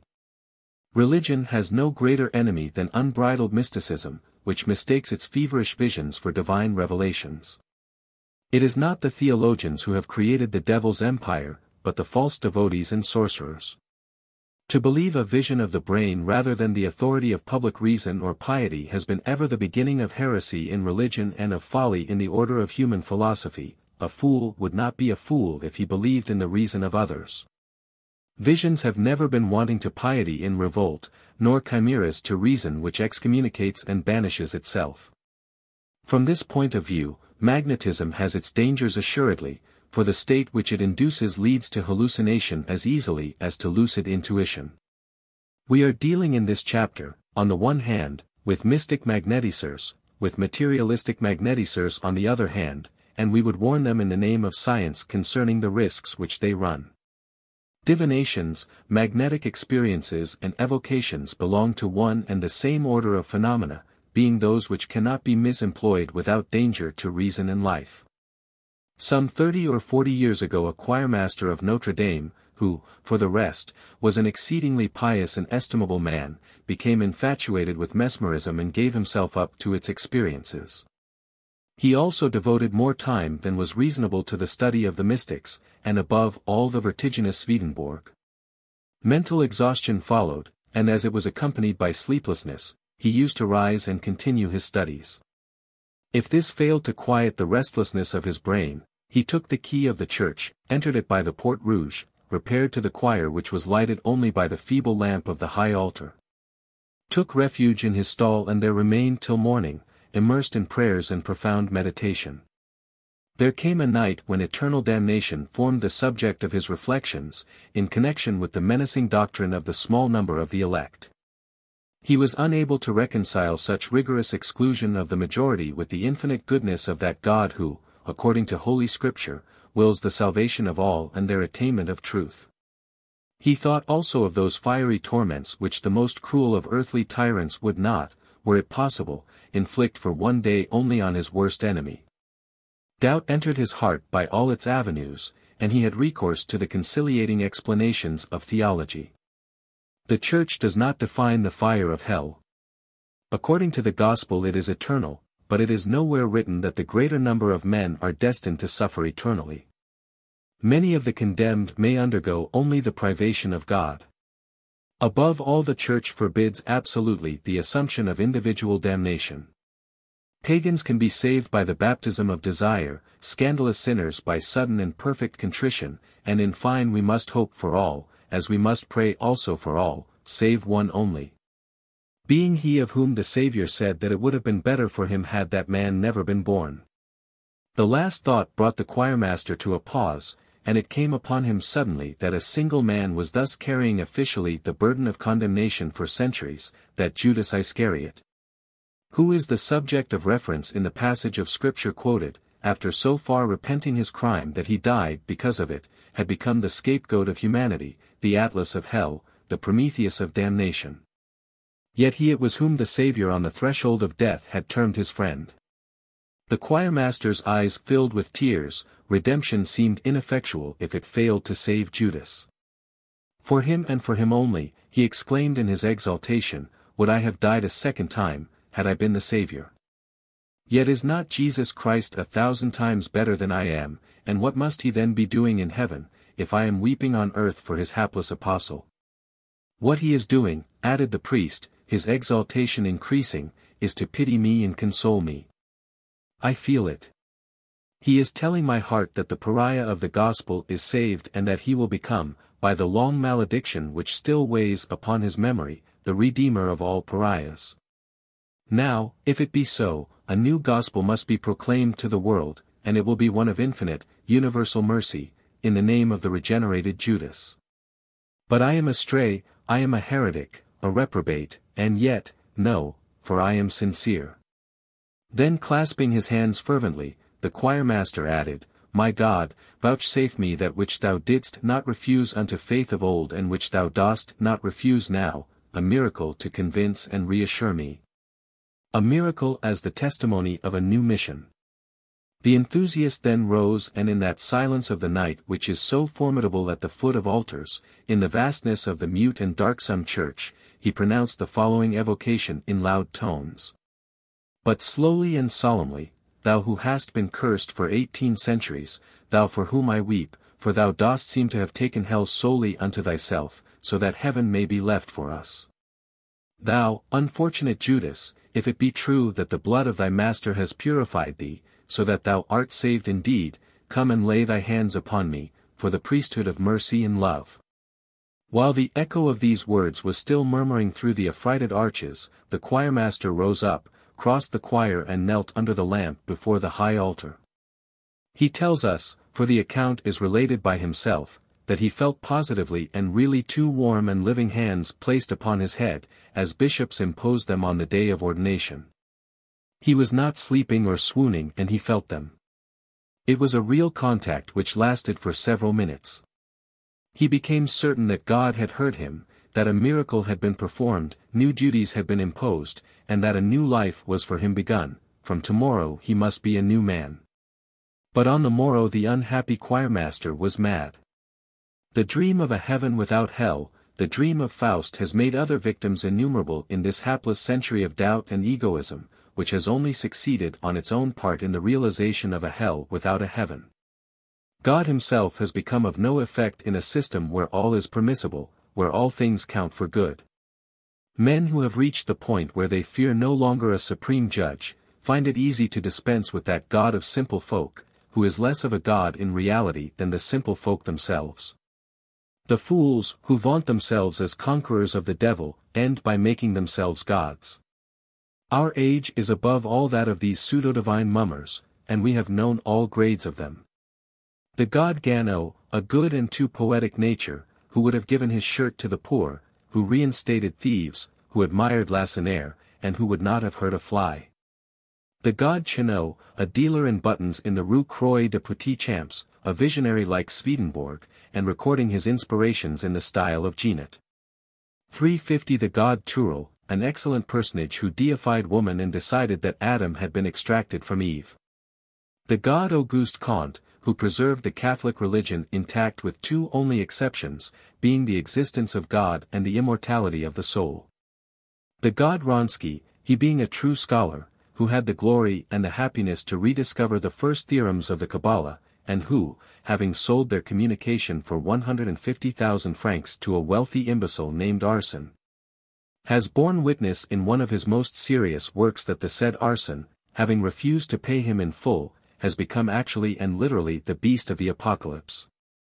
With a view of enforcing payment, Wronski published a pamphlet entitled Yes or No, that is to say, have you or have you not, yes or no, purchased from me for 150,000 francs my discovery of the Absolute.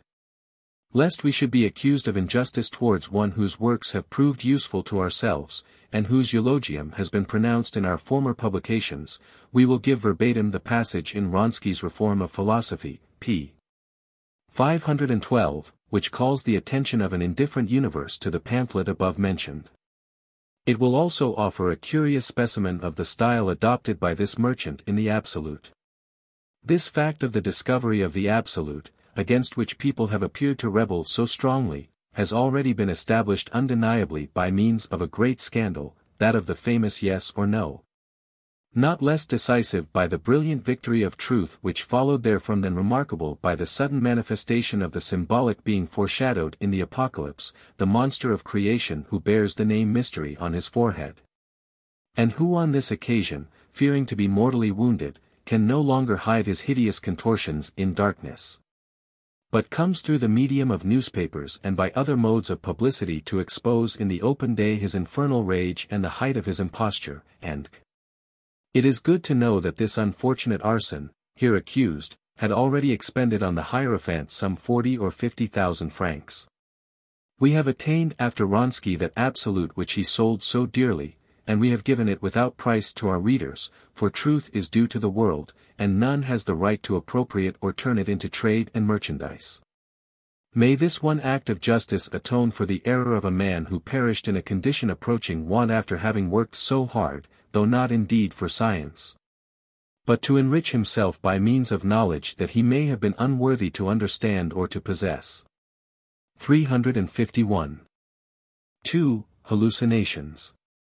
A root of ambition or cupidity is found invariably beneath the fanaticism of all the sects. Christ Jesus himself reprimanded often and severely those of his disciples who cleaved to him, during the days of his privations and exile in his own land with the hope that they would come into a kingdom wherein they would occupy the seats of the mighty. The more egregious the expectations are, the more they inveigle some imaginations, and people are then prepared to pay for the felicity of hope with their whole purse and indeed their whole personality. It is thus that the god Wronski ruined those imbeciles to whom he promised the absolute. It is thus that the god Auguste Comte drew an annuity of 6,000 francs at the expense of his worshippers, among whom he had distributed fantastic dignities in advance, to become realizable when his doctrine should have conquered the world. It is thus that certain mediums draw money from innumerable dupes by promising them treasures which the spirits always make away with. Some of these impostors really believe in their promises, and it is these precisely who are the most unwearying and the boldest in their intrigues. Money, miracles, prophecies, none of these fail them, because theirs is that absolute of will and action which really works wonders, so that they are magicians without knowing it. From this point of view, that sect which may be termed the saviors of Louis XVII belongs to the history of magic. The mania of these people is so contagious that it draws within the circle of their belief even those who have come forward to combat them. They procure the most important and rare documents, collect the most exceptional testimonies, evoke forgotten memories, command the army of dreams, ensure the apparition of angels to Martin, of blood to Rose Tamisier. Of an angel in tatters to Eugene Vintras. The last history is curious on account or its extraordinary consequences, and we shall therefore recite it.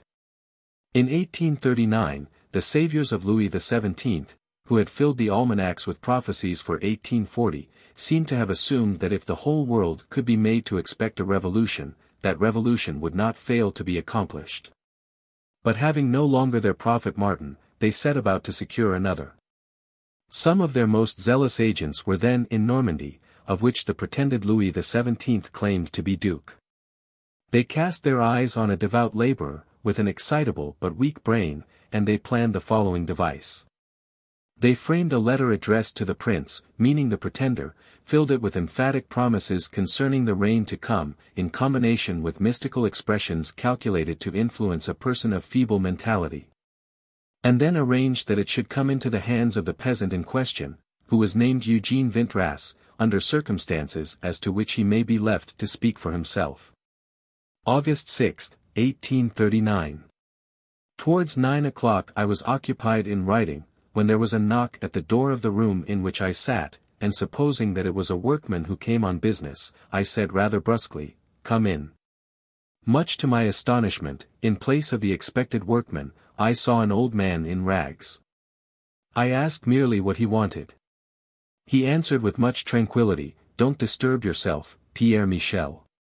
Now, these names are never used in addressing me, for I am known everywhere as Eugene, and even in signing documents I do not make use of my first names.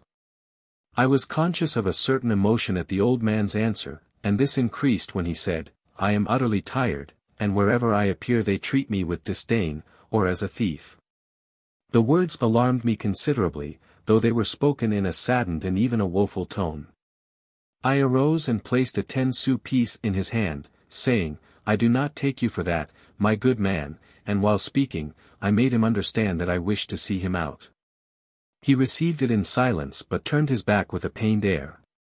No sooner had he set foot on the last step than I shut the door and locked it. I did not hear him go down, so I called a workman and told him to come up to my room. Under some business pretext, I was wishing him to search with me all the possible places which might conceal my old man, whom I had not seen go out. The workman came accordingly. I left the room in his company, again locking my door. I hunted through all the nooks and corners, but saw nothing.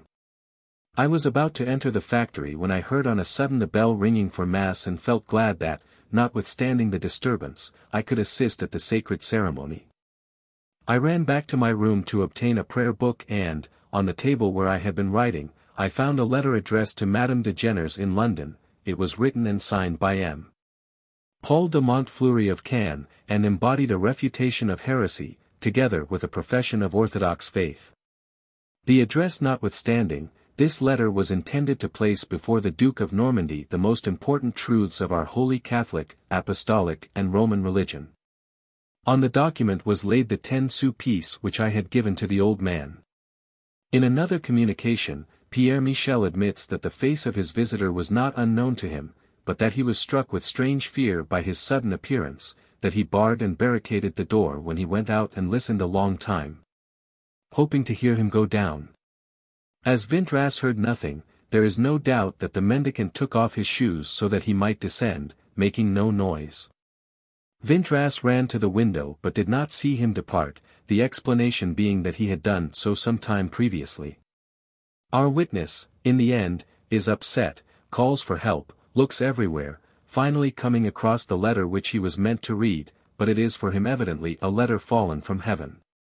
Behold Vintras, devoted henceforth to Louis XVII, behold him also a visionary for the rest of his days, as the apparition of the old mendicant never quits him henceforward. Then seeing that he addressed Vintras as Pierre Michel, the latter regards him as the Archangel Michael, by an association of ideas which is analogous to that of dreams. 352 The deluded supporters of Louis XVII had divined, with the second sight of maniacs, the right moment for impressing the feeble wits of Vintras so as to make him by a single experience at once an illumin and a prophet. The sect of Louis XVII consists more especially of persons belonging to the service of the legitimate royalty, and when Vintras became their medium. He was the faithful mirror of their imaginations filled with Romanesque memories and obsolete mysticism. In the visions of the new prophet there were everywhere lilies steeped in blood, 353 angels habited like knights, saints disguised as troubadours. Thereafter came hosts affixed on blue silk. Vintras had bloody sweats, his blood appeared on hosts, where it pictured hearts with inscriptions in the handwriting and spelling of Vintras. Empty chalices were filled suddenly with wine, and where the wine fell the stains were like those of blood. The initiates believed that they heard delightful music and breathed unknown perfumes. Priests, invited to witness the prodigies, were carried away in the current of enthusiasm.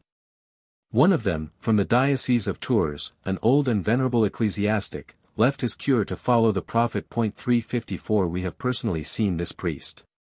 He has narrated the marvels of Vintras with the most perfect accent of conviction, he has shown us hosts intincted with blood in a most inexplicable manner. He has communicated to us copies of official proceedings signed by more than 50 witnesses, all honorable persons, occupying positions in the world, artists, physicians, lawyers, a Chevalier de Razac and a Duchesse d'Armail. Doctors have analyzed the crimson fluid which flowed from the hosts and have certified that it was human blood, the very enemies of Vintras, and he has cruel enemies, do not dispute the miracles, but refer them to the devil.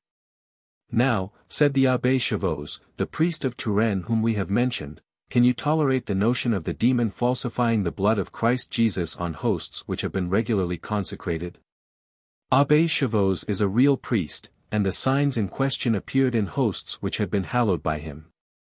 This notwithstanding, the sect of Vintras is anarchic and absurd, and God would not therefore perform miracles in its favor. There remains the natural explanation of such phenomena, and in the course of the present work it has been indicated sufficiently to make further development needless. Vintras, whom his partisans represent as a new Christ, has also had his Iscariots, two members of the sect, a certain Gazzoli and another named Alexander Geoffroy, published the most scandalous revelations against him. 355 According to them, the devotees of Tilly-sur-Seulles, which was the place of their residence, were given over to the most obscene practices.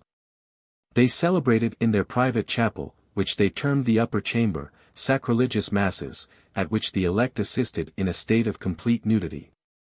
At a given moment all present fell into a paroxysm, and with tears and cries of, love, love, they cast themselves into each other's arms, the rest we may be permitted to suppress.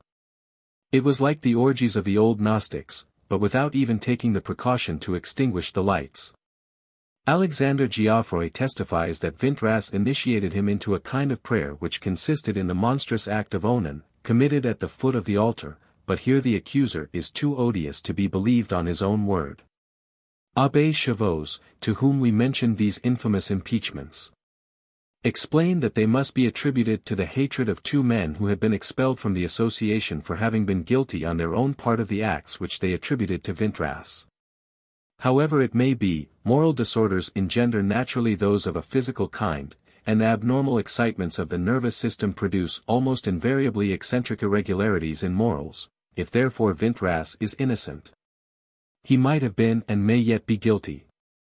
His sect was condemned formally by Gregory XVI in his brief, dated November 8, 1843. We append a specimen of the style which this illumin adopted, he is a man without education and his bombastic writings swarm with grammatical errors. Sleep, sleep, ye indolent mortals, rest, and still rest on your soft couches, smile at your dreams of festivals and grandeurs. The angel of the covenant has come down on your mountains, he has written his name even in the cups of your flowers. The rings on his feet have touched the rivers which are your pride and hope, the oaks of your forests have borrowed the tincture of a new morning from the radiance of his brow, the sea has made answer to his glance with a yearning leap. She has gone before him, prostrate yourselves upon the earth and be not alarmed at the continuous sound heard in the graves beneath. Sleep, and still sleep. He is engraving his name on the high hills. He is calling on time to speed his ship, and I have seen the oldest of the old smile at him. Sleep therefore and sleep, Elias, in the west, sets a cross at the gate of the temple, he seals it with fire and with the steel of a dagger. Still the temple, and still fire and dagger. It is strange assuredly how the fools reflect one another, all fanaticisms interweave their inspirations and the prophet of Louis XVII is here an echo of the vengeance cry of the Templars. It is true that Vintras does not hold himself responsible for what he writes, this is how he speaks on the subject. If my mind counted for anything in these condemned works, I should bow my head and fear would possess my soul. But the work is not my work, and I have had no concurrence therein either by research or desire. Calm is within me, my couch knows no vigils, watches have not wearied my eyes, my sleep is pure, as when God first gave it. I can say to my God with a free heart, Custodi anima meum et arumi, non erubescam, quoniam speravi in te.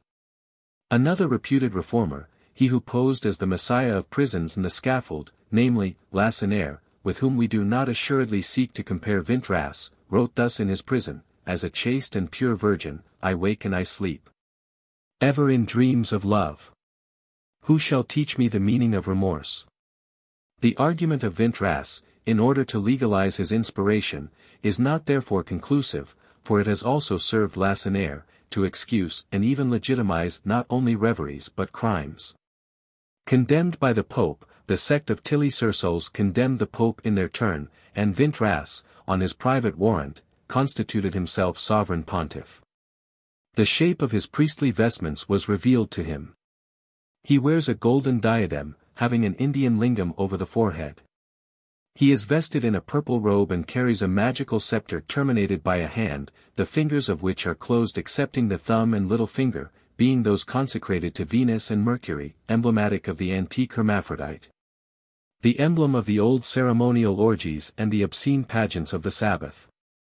So do the memories and reflections of black magic, transmitted by the astral light, connect the mysteries of India and the profane worship of Baphomet with the ecstasies of this contagious being, whose infirmary is at London.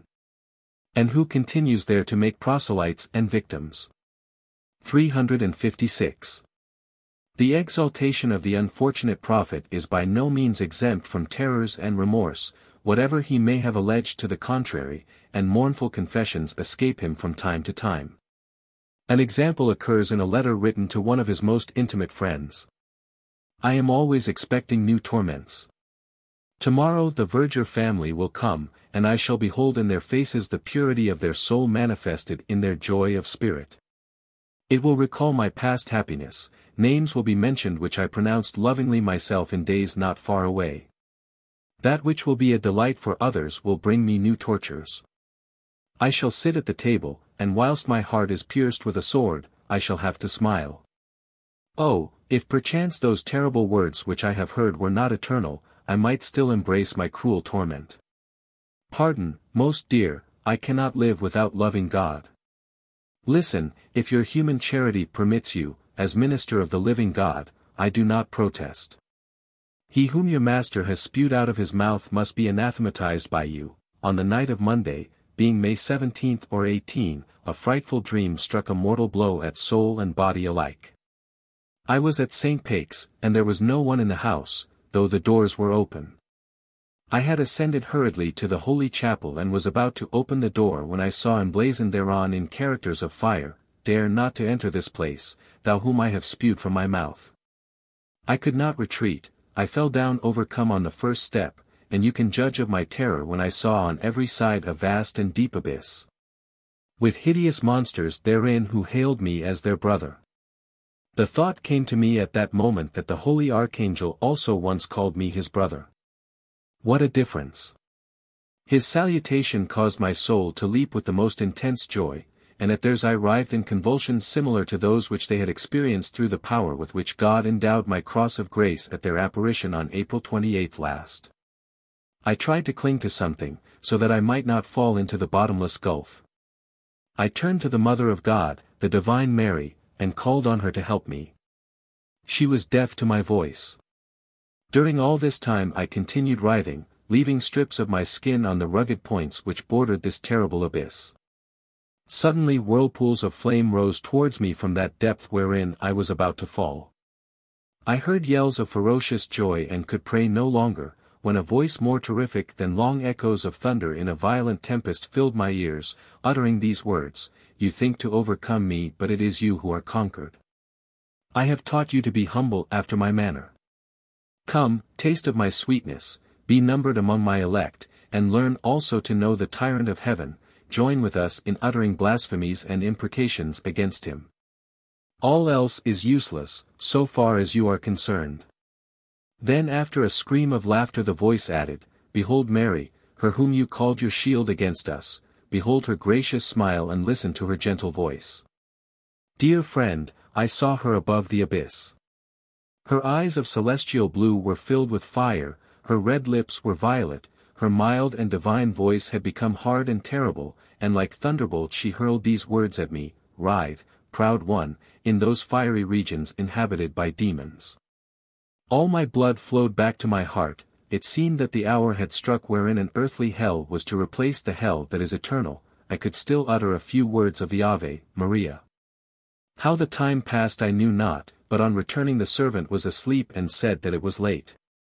Oh, if only I revealed to the enemies of the work of mercy that which passes within me, would they not cry victory? They would say that here indeed was evidence of monomania. Would God that it were so, for I should have less to lament. And yet fear nothing. If God will not hear my voice when it pleads my own cause, I will pray him to double my sufferings, on condition that he hides them from my enemies. Here triumphant hallucination reaches the point of the sublime.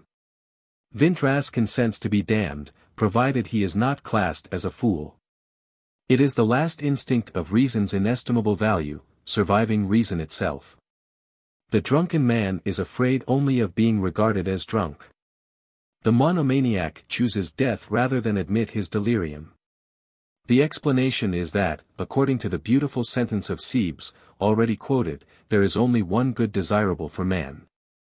It is that wisdom which is the practice of reason, there is also one only true and supreme misfortune to dread, which is madness. 3. Mesmerists and Somnambulists the Church in its great wisdom forbids us to consult oracles and to violate by indiscreet curiosity the secrets of futurity. In our day the voice of the Church is no longer heeded. The people go back to diviners and pythonesses, the somnambulists have become prophets for those who believe no longer in the gospel precepts. It is not realized that preoccupation over a predicted event suppresses our freedom in a sense and paralyzes our means of defense, by consulting magic, to foresee future events, we give earnests to fatality. The somnambulists are the Sibyls of our epoch, as the Sibyls were somnambulists of antiquity. Happy are those Querents who do not place their credulity at the service of immoral or senseless magnetists. For by the very fact of their friendly consultations they place themselves in communion with the immorality or folly of those who inspire the oracle. The business of the mesmerist is easy and his dupes are manifold. Among those who are devoted to magnetism it is therefore important to know who are in earnest. Among these, M. Le Baron du Potet must be placed in the front rank, and his conscientious work has already done much to advance the science of mesmer. He has opened at Paris a practical school of magnetism, to which the public is admitted for instruction in the processes and verification of the phenomena obtained. Baron du Potet is of an exceptional and highly intuitive nature. Like all our contemporaries, including the most instructed, he knows nothing of the Kabbalah and its mysteries, but magnetism has notwithstanding revealed to him the science of magic, and as it is still dread in his eyes. He has concealed that which he has found, even while feeling it necessary to reveal it. The book which he has written on the subject is sold only to his adepts and then under the seal absolute of secrecy. 357 We have entered into no bond with M. Du Potet, but we shall reserve his secret out of respect for the convictions of a Hierophant. It is sufficient to say that his work is the most remarkable of all products of pure intuition. We do not regard it as dangerous, because the writer indicates forces without being precise as to their use. He is aware that we can do good or evil, can destroy or save by means of magnetic processes, but the nature of these is not clearly and practically put forward, on which we offer him our felicitations. For the right of life and death presupposes a divine sovereignty, and we should regard its possessor as unworthy if he consented to sell it, in what manner soever.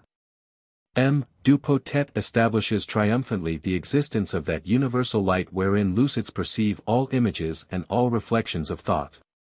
He assists the vital projection of this light by means of an absorbent apparatus which he calls the magic mirror, it is simply a circle or square covered with powdered charcoal, finely sifted. In this negative space, the combined light projected by the magnetic subject and the operator soon tinges and realizes the forms corresponding to their nervous impressions. The somnambulist sees manifested therein all dreams of opium and hashish, and if he were not distracted from the spectacle convulsions would follow. The phenomena are analogous to those of hydromancy as practiced by Cagliostro. The process of staring at water dazzles and troubles the sight, the fatigue of the eye, in its turn, favors hallucinations of the brain. Cagliostro sought to secure for his experiments virgin subjects in a state of perfect innocence, so as to set aside interference due to nervous divagations occasioned by erotic reminiscences. Dupotet's magic mirror is perhaps more fatiguing for the nervous system as a whole, but the dazzlements of hydromancy would have a more dangerous effect upon the brain. 358. M.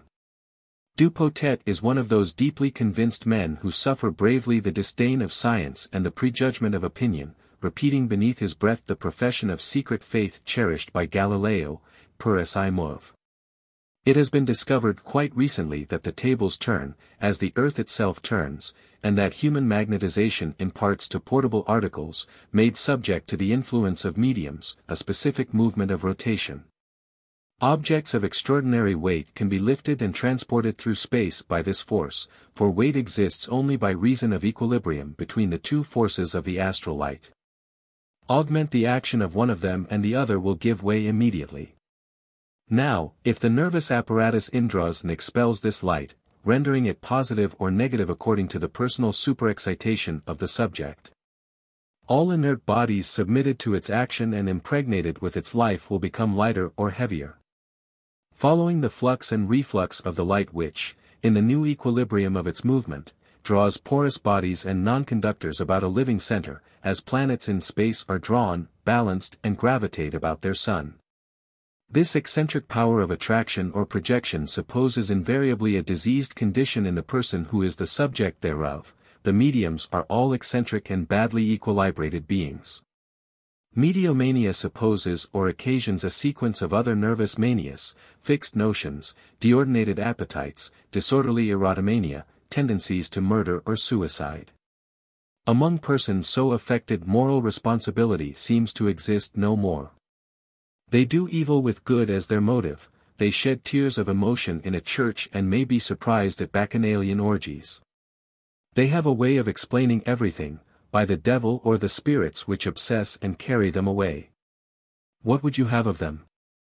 They live no more in themselves, some mysterious creature animates them and acts in their place, this being is named Legion. The reiterated efforts of a healthy person to develop mediumistic faculties cause fatigue, disease, and may even derange reason. It is this which happened to Victor Hennequin, formerly an editor of La Démocratie Pacifique and, after 1848, a member of the National Assembly.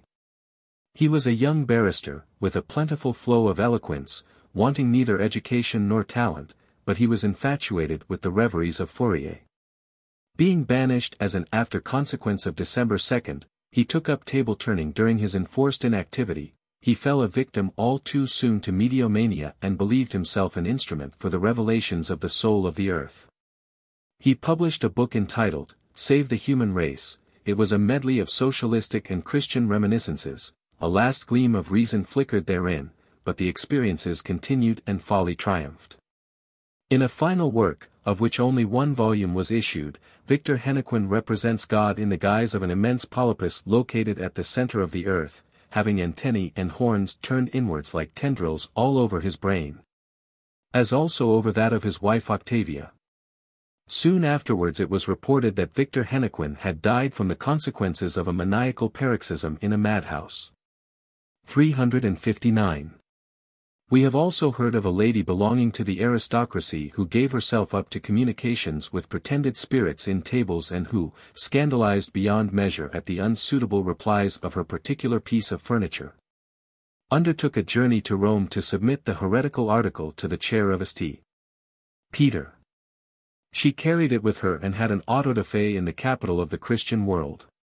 Better to burn her furniture than to court madness, and to say the truth it was an imminent danger for the lady here in question. Let us not laugh at the episode, for we are children of an age of reason in which men who pass as serious, like the Comte de Mirville, ascribe to the devil unexplained phenomena of nature.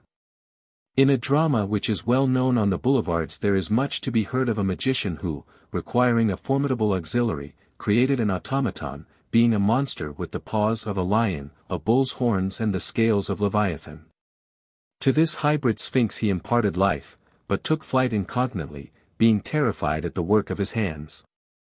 The monster followed in pursuit, appeared between him and his betrothed, set fire to his house, burned his father, carried off his son, and continuing the chase to the sea, followed him on board a ship which he caused to be engulfed.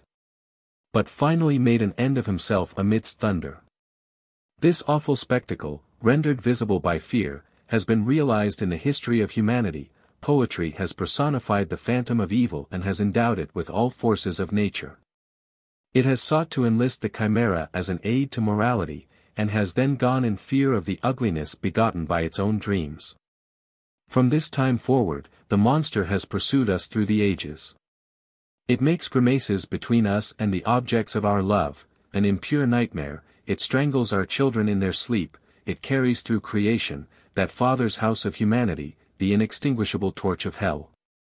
It burns and tortures our parents everlastingly, it spreads black wings to hide heaven from our eyes, it shrieks to us, hope no more. It mounts the crupper and gallops behind us like remorse. It plunges into the ocean of despair the last rock of our hopes, it is the old Persian Ahriman, the Egyptian Typhon, the darksome god confessed by the heretics of Manes, the Comte de Mirville and the black magic of the devil. It is the world's horror and the idol of bad Christians. Men have tried to laugh at it and have been afraid, they have caricatured it and then trembled, for the cartoons have seemed to take life and to mock at those who made them.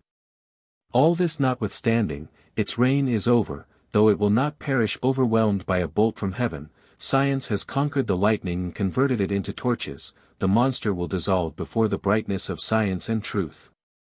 The genius of ignorance and darkness can only be blasted by the light. 4. The fantastic side of magical literature. It is now 20 years since Alphonse Esquiros, 361 of the Friends of Our Childhood, issued a work of high fantasy, entitled The Magician. All that the romanticism of that period conceived to be most bizarre was embodied in the story, the author provided his magus with a seraglio of dead ladies, embalmed according to a process which has since been discovered by Gannal. The characters included an automaton of bronze who preached chastity, a hermaphrodite who was in love with the moon and conducted a regular correspondence with that satellite, there were other wonderful things which one has forgotten at this day. Alphonse Esquiros may be said to have founded a school of fantasiasts in magic by the publication of this romance, its most distinguished present representative being the young and interesting Henri Delage, who is a productive writer. An unrecognized thaumaturgist and a gifted charmer. His style is not less astonishing than were the notions of Alphonse Esquiros, his initiator and master. Thus, in his book dealing with those who have risen from the dead, he remarks as follows concerning some objection against Christianity, I take this objection by the throat and, when I loose my grasp. The earth shall resound sullenly under the weight of its strangled corpse. It is true that his reply to the objection comes to very little, but what would you, when an objection has been strangled and when the earth has resounded sullenly under the weight of its body. We have said that Henri Delage is an unrecognized thaumaturgist. As a fact he has informed a person of our acquaintance that during a winter when influenza was prevalent, it was sufficient for him to enter a room and every one who happened to be therein was cured immediately. Unhappily he became himself a victim of the miracle, for he contracted a slight hoarseness which has never left him. Many of our friends declare that he has the gift of ubiquity. He is left at the office of La Patrie and is found again with his publisher Dentu, one retires in dismay and goes home, there to find, Delage awaiting one's arrival. He is a skillful charmer. A society lady who had been reading one of his books testified that she knew nothing better written or more beautiful, but it is not to his works alone that Delage imparts beauty. We had been reading an article signed Fiorentino which said that the physical attractions of the young magician equaled or even surpassed those of angels. We encountered Delage and questioned him with curiosity on this singular revelation. Delage then put his hand in his waistcoat, turned three parts round and looked smiling to heaven. It happened fortunately that we were carrying the Enchiridion of Leo III, which is known to preserve from enchantments, so that the charmer's angelical beauty was hidden from our eyes. Let us offer on our part a more serious eulogium to Henri Delage than do those who admire his good looks, he is sincere when he says that he is a Catholic and when he proclaims loudly his love and respect for religion. Now religion can make you a saint, and this title is more estimable and glorious than that of a sorcerer. 361. It is owing to his rank as a publicist that we have placed this young man in the first place among the fantasiasts of magic, but in all other respects it belongs to the Comte d'Ourches. A man of venerable age who has devoted his life and fortune to mesmeric experiments. Ladies in a state of somnambulism, and any furniture at his house, give themselves up to frenzied dances, the furniture becomes worn out and is broken, but it is said that the ladies are all the better for their gyrations. For a long time the Comte d'Ourches has been dominated by a fixed idea, which is the fear of being buried alive, and he has written a number of memorials on the need for verifying decease in a more certain way than obtains usually. He has some justification for such a fear on his own part because his temperament is plethoric, while his extreme nervous susceptibility, continually superexcited by experiments with fair somnambulists, may expose him to attacks of apoplexy. In magnetism he is the pupil of Abbe Faria and in necromancy he belongs to the school of Baron de Guldenstubbé. The latter has published a work entitled Practical Experimental Pneumatology, or The Reality of Spirits and the Marvelous Phenomenon of Their Direct Writing. He gives an account of his discovery as follows, it was in the course of the year 1850, or about three years prior to the epidemic of table rapping, that the author sought to introduce into France the circles of American spiritualism. The mysterious Rochester knockings and the purely automatic writing of mediums. Unfortunately he met with many obstacles raised by other mesmerists.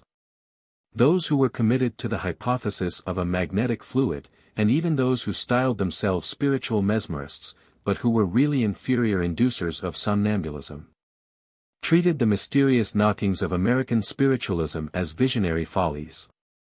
It was therefore only after more than six months that the author was able to form his first circle on the American plan, and then thanks to the zealous concurrence of M. Roustan, a former member of the Société de Magnétiseurs Spiritualists, a simple man who was full of enthusiasm for the holy cause of spiritualism. We were joined by a number of other persons, amongst whom was the Abbé Chatel 362 founder of the Église Française, who, despite his rationalistic tendencies, ended by admitting the reality of objective and supernatural revelation. As an indispensable condition of spiritualism and all practical religions. Setting aside the moral conditions, which are equally requisite, it is known that American circles are based on the distinction of positive and electric or negative magnetic currents. The circles consist of 12 persons, representing in equal proportions the positive and negative or sensitive elements. This distinction does not follow the sex of the members, though generally women are negative and sensitive, while men are positive and magnetic. The mental and physical constitution of each individual must be studied before forming the circles, for some delicate women have masculine qualities, while some strong men are, morally speaking, women.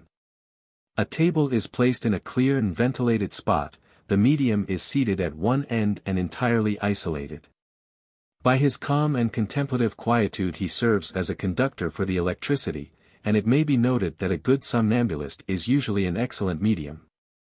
The six electrical or negative dispositions, which are generally recognized by their emotional qualities and their sensibility, are placed at the right of the medium, the most sensitive of all being next him. The same rule is followed with the positive personalities, who are at the left of the medium, with the most positive among them next to him. In order to form a chain, the twelve persons each place their right hand on the table and their left hand on that of their neighbor, thus making a circle round the table. Observe that the medium or mediums, if there be more than one, are entirely isolated from those who form the chain. After a number of seances, certain remarkable phenomena have been obtained, such as simultaneous shocks, felt by all present at the moment of mental evocation on the part of the most intelligent persons. It is the same with mysterious knockings and other strange sounds, many people, including those least sensitive, have had simultaneous visions, though remaining in the ordinary waking state. Sensitive persons have acquired that most wonderful gift of mediumship, namely, automatic writing as the result of an invisible attraction which uses the non-intelligent instrument of a human arm to express its ideas. For the rest, non-sensitive persons experience the mysterious influence of an external wind, but the effect is not strong enough to put their limbs in motion. All these phenomena, obtained according to the mode of American spiritualism, have the defect of being more or less indirect, because it is impossible in these experiences to dispense with the mediation of a human being or medium. It is the same with the table turning which invaded Europe in the middle of the year 1853. The author has had many table experiences with his honorable friend, the Comte d'Ourches, one of the most instructed persons in magic and the occult sciences. We attained by degrees the point when tables moved apart from any contact whatever, while the Comte d'Ourches has caused them to rise, also without contact. The author has made tables rush across a room with great rapidity and not only without contact but without the magnetic aid of a circle of sitters. The vibration of piano chords under similar circumstances took place on January 20, 1856, in the presence of the Comte de Sapri and Comte d'Ourches. Now all such phenomena are proof positive of certain occult forces, but they do not demonstrate adequately the real and substantial existence of unseen intelligences, independent of our will and imagination. Though the limits of these have been vastly extended in respect of their possibilities. Hence the reproach made against American spiritualists, because their communications with the world of spirits are so insignificant in character, being confined to mysterious knockings and other sound vibrations. As a fact, there is no direct phenomenon at once intelligent and material, independent of our will and imagination, to compare with the direct writing of spirits, who have neither been invoked nor evoked. And it is this only which offers irrefutable proof as to the reality of the supernatural world. The author, being always in search of such proof, at once intelligent and palpable, concerning the substantial reality of the supernatural world, in order to demonstrate by certain facts the immortality of the soul, has never wearied of addressing fervent prayers to the Eternal, that he might vouchsafe to indicate an infallible means for strengthening that faith in immortality which is the eternal basis of religion. The Eternal, whose mercy is infinite, has abundantly answered this feeble prayer. On August 1, 1856, the idea came to the author of trying whether spirits could write directly, that is, apart from the presence of a medium. Remembering the marvelous direct writing of the Decalogue, communicated to Moses, and that other writing, equally direct and mysterious, at the feast of Belshazzar, recorded by Daniel. Having further heard about those modern mysteries of Stratford in America, where certain strange and illegible characters were found upon slips of paper, apparently apart from mediumship. The author sought to establish the actuality of such important phenomena, if indeed within the limits of possibility. He therefore placed a sheet of blank letter paper and a sharply pointed pencil in a box, which he then locked and carried the key about him, imparting his design to no one. Twelve days he waited in vain, but what was his astonishment on August 13, 1856, when he found certain mysterious characters traced on the paper. He repeated the experiment ten times on that day, placing a new sheet of paper each time in the box, with the same result invariably. On the following day he made 20 experiments but left the box open, without losing sight of it. He witnessed the formation of characters and words in the Esthonian language with no motion of the pencil. The latter being obviously useless he decided to dispense with it and placed blank paper sometimes on a table of his own, sometimes on the pedestals of old statues, on sarcophagi, on urns, and, in the Louvre, at St. Denis, at the Church of St. Etienne du Mont, and Similar experiments were made in different cemeteries of Paris, but the author has no liking for cemeteries, while most spirits prefer the localities where they have lived on earth to those in which their mortal remains are laid to rest. We are far from disputing the singular phenomena observed by Baron de Guldenstubbé but would point out to him that the discovery had been made previously by Lavater and that the watercolor portrait 363 painted by the Kabbalist Gablidone is of far greater importance than the few lines of writing obtained on his part. Speaking next in the name of science, we would tell him, not indeed for his benefit, seeing that he will not believe us, but for serious observers of these strange phenomena. That the writings obtained by him do not come from the other world but have been made unconsciously by himself. We would say to him that your experiments, so unduly multiplied, and the excessive tension of your will, have destroyed the equilibrium of your fluidic and astral body. You have compelled it to realize your dreams and it has traced, in characters borrowed from your own remembrance, the reflections of your imagination and of your thoughts. Had you been placed in a perfectly lucid state of magnetic sleep, you would have seen a luminous counterpart of your hand, lengthened out like a shadow in the setting sun. You would have seen it trace on the paper prepared by yourself or your friends those characters which have so much surprised you. That corporeal light which emanates from the earth and from you is contained by a fluidic envelope of extreme elasticity, and that envelope is formed from the quintessence of your vital spirits and your blood. This quintessence derives from the light a color determined by your secret will. It is made in the likeness of your dream, and the characters are impressed on the paper as signs on the bodies of unborn children are imprinted by the imagination of their mothers. That which seems to you ink is your blackened and transfigured blood. You are expending yourself in proportion as such writings multiply. If you continue your experiments, your brain will be weakened gradually and your memory will suffer. You will experience unspeakable pains in the joints of the limbs and fingers, and you will finally die, either struck down suddenly or after a prolonged agony, characterized by hallucinations and madness. So much for Baron de Guldenstubbé. To the Comte d'Ourches we would say, you will not be buried alive, but you run the risk of dying by the very precautions which you are taking against such a possibility. The awakening of those who are so buried can only be rapid and brief, but they may live long underground, conserved by the astral light in a complete state of lucid somnambulism.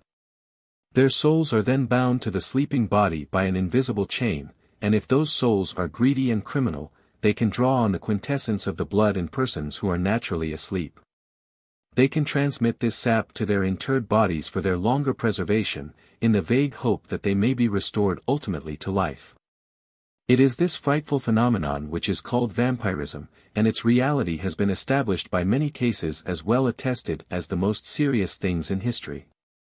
If you question the possibility of this magnetic life of the human body under earth, read the following account of an English officer, named Osborne, the good faith of which was attested to Baron du Potet by General Ventura. On June 6, 1838, says Mr. Osborne, the monotony of our camp life was happily interrupted by the arrival of an individual who was famous throughout the Punjab. He was the subject of great veneration among the Sikhs because of his power to remain buried underground for so long a time as he pleased. Such extraordinary stories are told of this man, and their authenticity has been guaranteed by so many reputable persons, that we were most anxious to see him. He told us on his own part that he had followed this business of interment for a number of years in various parts of India. Among serious and creditable people who have borne witness in his favor I may mention Captain Wade, the political agent at Ladrun. This officer has told me most seriously that he himself assisted at the resurrection of the said fakir after a burial which took place several months previously, in the presence of General Ventura, the Maharaja and the principal Sikh chiefs. The details concerning the interment as given to Captain Wade, and those which he added on his own authority respecting the exhumation are as follows. After certain precautions which lasted for several days and the details of which are distasteful, the fakir announced that he was ready to undergo the trial. The Maharaja, Sikh chiefs and General Ventura assembled round a grave of stonework constructed for the express purpose. In their presence the fakir sealed up with wax every opening of his body by which air could enter, with the exception of the mouth. He then cast off his garments, was enveloped in a linen bag and, by his own wish, his tongue was turned back so that it obstructed the gullet. He fell after this into a kind of lethargy. The bag which contained him was closed up, and a seal was placed therein by the Maharaja. It was then put into a sealed and padlocked chest, which was lowered into the grave. A large quantity of earth was thrown on it. It was trodden down and barley was sown therein. Finally, sentinels were stationed round the spot, with orders to watch day and night. These precautions notwithstanding, the Maharaja still had doubts. Thrice during the period of ten months, during which the fakir was to remain interred, he visited the grave and had it opened in his presence, but the body was in the sack, just as it had been placed therein, cold and inanimate to all appearance. When the ten months had expired, the fakir was exhumed finally. General Ventura and Captain Wade undid the padlocks, broke the seals and raised the chest from the grave. The fakir was taken out, but there was no indication of life either at heart or pulse. As a first means to reanimate him, one of the spectators inserted his finger very gently in the mouth and restored the tongue to its natural position. The top of the head was the sole seat of any sensible heat. By pouring warm water slowly over the body, some signs of life were obtained by degrees. After two hours of attention, the fakir rose up and began to move about smiling. The extraordinary being declared that he had delicious dreams during his entombment, but that the time of awaking was always exceedingly painful and that he was in a state of vertigo before his return to consciousness. His age is about thirty years, his countenance is ill-favored and his expression somewhat crafty. We had long conversations with him, and he offered to be buried in our presence. We took him at his word and appointed a meeting at Lahore, where we promised that he would remain underground throughout our stay in that city. Such was the story of Osborne. The question was whether the fakir would really allow himself to be interred once more. The new experiment might well be decisive. But that which happened was as follows. Fifteen days after the fakir's visit to their camp, the English officers arrived at Lahore. They chose a spot which seemed favorable for the coming operation, had a mural tomb constructed, as well as a very solid chest, and then awaited the fakir. He came on the day following, expressing an ardent desire to prove that he was no impostor. He stated further that he had made the necessary preparations for an experiment, but his demeanor evidenced a certain disquiet and despondency. He began to stipulate concerning his compensation, which was fixed at 1500 rupees down and 2000 rupees annually, which the officers undertook to obtain from the king. Satisfied on this point, he wished to be informed as to the precautions that they were proposing to take. The officers shewed him the chest, the keys belonging thereto, and warned him that sentinels chosen among the English soldiers would watch round the place for a week. The fakir cried out and gave vent to much abuse of the Firingis and skeptics, who sought to rob him of his reputation. He expressed also a fear that some attempt would be made on his life and, refusing to trust himself entirely to the surveillance of Europeans, he demanded that duplicate keys should be committed to one of his co-religionists further insisting, and this indeed above all, that the sentries should not be enemies of his faith. The officers declined to entertain these conditions, several interviews followed, leading to no result. And finally the fakir intimated, through one of the Sikh chiefs, that the Maharaja having menaced him with his anger if he did not fulfill his engagement with the English, it was his wish to undertake the trial. Though he rested assured that the sole object of the officers was to deprive him of life, and that he would never come forth from his tomb. The officers admitted that, as to the last point, they all shared his conviction, adding that as they did not wish to have his death as a reproach against them, they relieved him of his promise. Are such hesitations and fears proof positive against the fakir? Does it follow that all who have testified previously how they had beheld with their own eyes the occurrences to which he owes his celebrity have been guilty of deception themselves or were the victims of skilful trickery?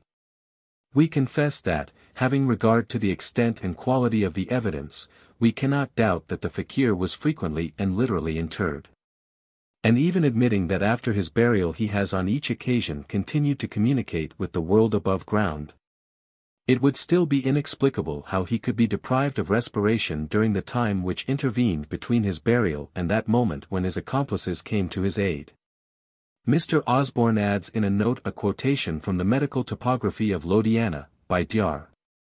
MacGregor, an English physician, who assisted at one of the exhumations, was a witness of the fakir's lethargy, of his gradual return to life, and who tries seriously to explain it. Mr. Boileau, another English officer, in a work published some years ago, recounts how he witnessed another experience which reproduced all the facts in precisely the same manner. Those who are anxious to satisfy their curiosity more fully, those who discern in the narrative an indication of a curious physiological fact, may refer with confidence to the sources which are here indicated. A number of official records of the exhumation of vampires are still extant. In each case the flesh was in a remarkable state of preservation, but blood oozed from the body, the hair had grown in an abnormal manner and protruded in tufts through the chinks of the coffin. There was no sign of life in the respiratory apparatus, save in the heart only, and this seemed to have become a vegetable rather than an animal organ. To kill the vampire, a stake had to be driven through the breast and then a frightful cry shewed that the somnambulist of the grave had awakened with a start into a veritable death. To render such death definitive, swords were driven point upward into the vampire's grave, for the phantoms of astral light are disintegrated by the action of metallic points. which attract that light towards the common reservoir and dissipate its coagulated clusters. To reassure nervous people, it may be added that cases of vampirism are fortunately exceedingly rare and that no one who is healthy in mind and body can be personally victimized, unless he or she has been abandoned, body and soul, to the creature in its lifetime by some criminal complicity or irregular passion. The following history of a vampire is related by Tournefort in his voyage to the Levant. 364. In the island of Mycona we witnessed a very singular scene, being the alleged return of a deceased person after interment. In northern Europe those who come back in this manner are called vampires, while the Greeks designated them under the name of brokoloks. The case in question was that of a peasant of Mycona who was naturally gloomy and quarrelsome. It is a circumstance worthy of note, on account of parallel instances. He was killed in the countryside, no one knew why or by whom. Two days after his burial in a church of the city, a report went abroad that he was seen nightly wandering about at a great pace. He also visited houses, turned over the furniture, put out the lights, embraced people from behind and performed innumerable other tricks. At first it was a laughing matter, but it took a serious turn when reliable people began to complain. The priests themselves certified to the fact, and no doubt they had their reasons. Recourse was had to masses, said for the purpose, but the peasant continued the same course with no sign of amendment. After several meetings of the chief persons, priests and monks of the town, it was concluded to wait for the expiration of nine days after the interment, following I know not what ancient procedure.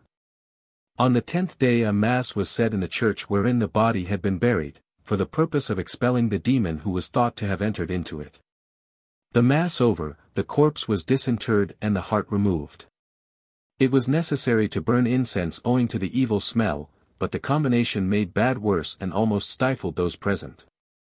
It was testified that a thick smoke exhaled from the corpse, and we who were present at the operations did not venture to suggest that it was really the smoke of the incense. There were also those who affirmed that the blood of the unfortunate person was abnormally scarlet, while yet others declared that the flesh was still warm. Whence it was concluded that the deceased person was seriously wrong in not being properly dead, or rather in allowing himself to be brought to life by the devil. This is precisely the idea which obtains concerning the vampire, and that word began to be repeated persistently. A crowd assembled, loudly protesting that the body was obviously not rigid when it was carried to the church for burial and that it was therefore a veritable vampire. Appeal being made to us, we expressed the opinion that the person was undoubtedly dead, and as for the supposed scarlet blood, it was easy to see that it was only bad-smelling slime. For the rest, we attempted to cure or at least not provoke further their excited imaginations by explaining the fumes and warmth attributed to the corpse. Such arguments notwithstanding, it was determined to burn the heart of the deceased person, but after this had been done he was not more amenable than formerly and indeed created greater stir.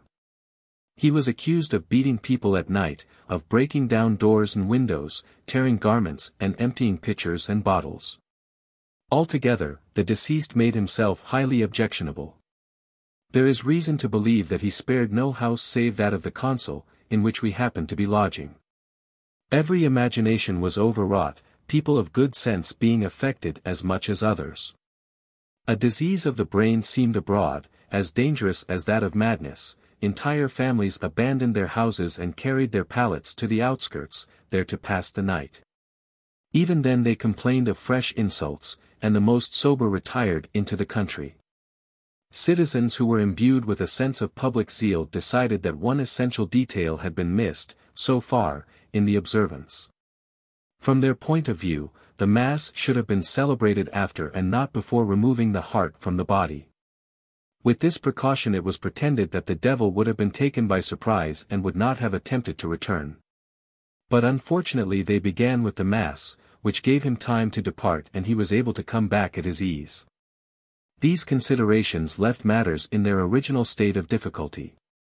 There were meetings and still meetings, both evening and morning, there were processions for three days and three nights, fasts were imposed on the priests, houses were visited by them, aspergillus in hand. There was sprinkling with holy water and doors were purified. Even the mouth of the miserable vampire was filled with holy water. In the midst of such prepossessions, our course was to say nothing. We should have been regarded as jesters and infidels. What however was to be done to help the inhabitants? Every morning brought a fresh scene in the comedy by the recital of new pranks of this nightbird, who was even accused of committing the most abominable crimes. We did, however, represent more than once to the governor of the town that in our own country, under such circumstances, a watch would not fail to be set, to take note of what passed. The precaution was ultimately taken and led to the arrest of some vagabonds who were undoubtedly at the bottom of the disorder. It was, of course, relaxed too soon, and two days subsequently, to atone for the fast which the said wastrels had undergone in prison, they betook themselves to emptying the wine jars in some of the abandoned houses. After driving in numberless drawn swords over the grave of the body, people now returned to their prayers, combined with disinterring the corpse as caprice led them, when an Albanian, who happened to be there, pointed out in an authoritative tone that it was highly ridiculous, in a case of the kind, to make use of the swords of Christians. These being cross-handled effectually prevented the devil from leaving the body and his recommendation was therefore to substitute Turkish sabers. The advice of this expert came to nothing. The vampire was not more tractable, and they knew not what saint to invoke, when all with one voice, as if a word of command had been given, cried out through the whole town that the vampire must be burned completely. After which they might defy the devil, and that certainly it was better to have recourse to this extremity rather than that the island should be deserted. As a fact, certain families were preparing already for their departure. The vampire was therefore carried, by order of the governors, to the extremity of the Isle of St. George, where a great pyre had been prepared with tar, lest even dry wood should not kindle quickly enough. What remained of the miserable body was cast therein and speedily consumed. This was on the first day of January, 1701.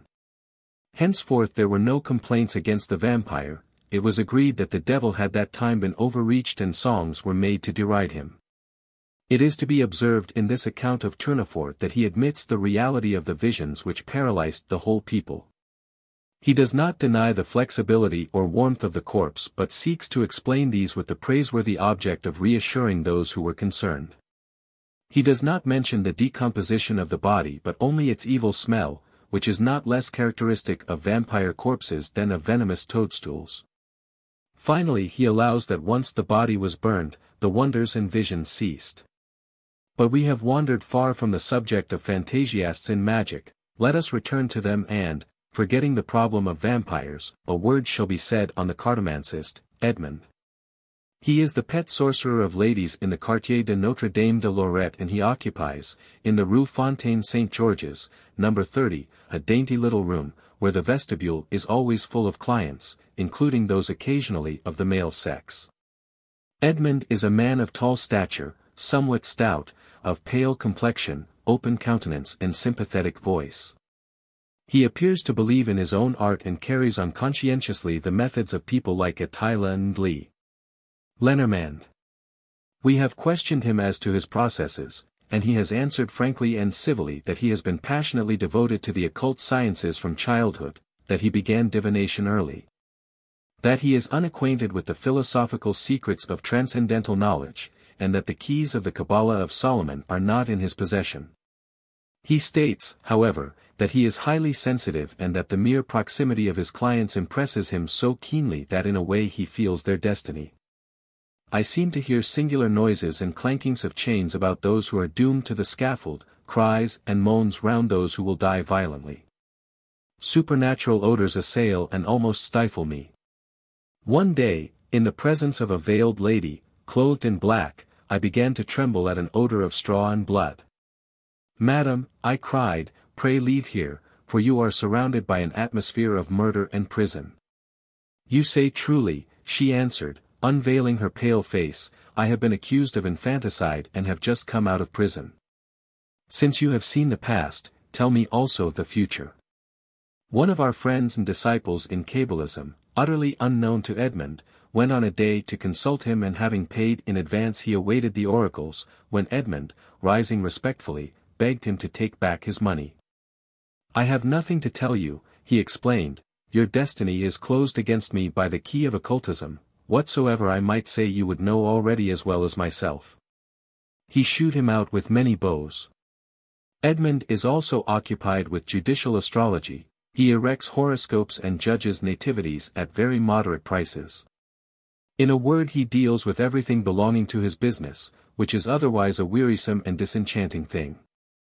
With how many disordered brains and diseased hearts must he be continually in relation, and the imbecile requirements of some, the unjust reproaches of others, the tiring confidences, the demands for philters and spells, the obsessions of fools. All combine in making him gain his income hardly. To sum up, Edmond is a somnambulist like Alexis, he is self-magnetized by his cards and by the diabolical figures which adorn them, he wears black and gives his consultations in a black cabinet, in a word, he is the prophet of mystery. V. Some private recollections of the writer. On a certain morning in 1839 the author of this book had a visit from Alphonse Esquiros, who said, Let us pay our respects to the Mapah. 365 The natural question arose, but in any case, who or what is the Mapah? He is a god, was the answer. Many thanks, said the author, but I pay my devotions only to gods unseen. Come notwithstanding, he is the most eloquent, most radiant and magnificent fool in the visible order of things. My friend, I am in terror of fools, their complaint is contagious. Granted, delectissime. And yet I am calling on you. Admitted, and things being so, we will pay our respects to the Mapah. In an appalling garret there was a bearded man of majestic demeanor who invariably wore over his clothes the tattered cloak of a woman, and had in consequence rather the air of a destitute dervish. He was surrounded by several men, bearded and ecstatic like himself, and in addition to these there was a woman with motionless features, who seemed like an entranced somnambulist. The prophet's manner was abrupt and yet sympathetic. He had hallucinated eyes and an infectious quality of eloquence. He spoke with emphasis, warmed to his subject quickly, chafed and fumed till a white froth gathered on his lips. Abbé Lamennais was once termed Old 93 fulfilling its Easter duties. The catchphrase is more suited to the Mapah and his mysticism, as will be shown by a fragment from one of his lyrical enthusiasms. Transgression was inevitable for man, it was decreed by his destiny, that he might be the instrument of his own reconstruction, that the greatness and majesty of God might be manifested in the majesty and greatness of human toil. Passing through its successive phases of light and darkness. But primitive unity was destroyed by the fall, suffering entered the world in the guise of the serpent, and the tree of life became the tree of death. Things being at this pass, God said to the woman, In sorrow thou shalt bring forth children, yet added afterwards, Thou shalt crush the serpent's head. And the first slave was a woman. She accepted her divine mission, and the pains of travail began. From the first hour of the fall, the task of humanity has been, for this reason, a great and terrible task of initiation. For this also the terms of that initiation are all equally sacred in the eyes of God. Their Alpha is our common mother Eve, while the Omega is Liberty, who is our common mother also. I beheld a vast ship, having a gigantic mast with its crow's nest at the top, one of the ship's extremities looked to the west, the other to the east. On the western side it was poised upon the cloudy summits of three mountains, their bases lost in a raging sea. On the flank of each mountain was inscribed its ominous name. The first was Golgotha, the second Mont Saint Jean, but the third was St. Helena. In the middle way of the mast, on the western side, there was erected a five-armed cross 366 on which a woman was expiring.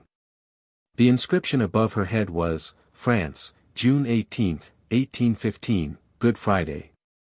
The five arms of the cross represented the five divisions of the globe, the woman's head rested on Europe and was encircled by a cloud. But at the end of the ship to the east there was no darkness. And the keel paused at the threshold of the city of God, by the summit of a triumphal arch in the full rays of the sun. Here the woman reappeared, but this time transfigured and glorious. She rolled away the stone from the sepulchre, and on that stone was written, Restoration, Days of the Tomb, July 29, 1830, Easter. It will be seen that the Mapah was a successor of Catherine Theot and Dom Gerle. And yet, such is the strange sympathy between follies, he told us one day confidentially that he was Louis XVII returned to earth for a work of regeneration, while the woman who shared his life was Marie Antoinette of France. He explained further that his revolutionary theories were the last word of the violent pretensions of Cain, destined as such to ensure, by a fatal reaction, the victory of the just Abel. Now Esquiros and I visited the Mapah to enjoy his extravagances, but our imaginations were overcome by his eloquence. We were two college friends, like Louis Lambert and Balzac, and we had nourished dreams in common concerning impossible renunciations and unheard of heroisms. After visiting Ganneau, for this was the name of the Mapah, we took it into our heads that it would be a great thing to communicate the last word of revolution to the world and to seal the abyss of anarchy, like Curtius by casting ourselves therein. Our students' extravagance gave birth to the gospel of the people and the Bible of liberty, follies for which Esquiros and his ill-starred friend paid but too dearly.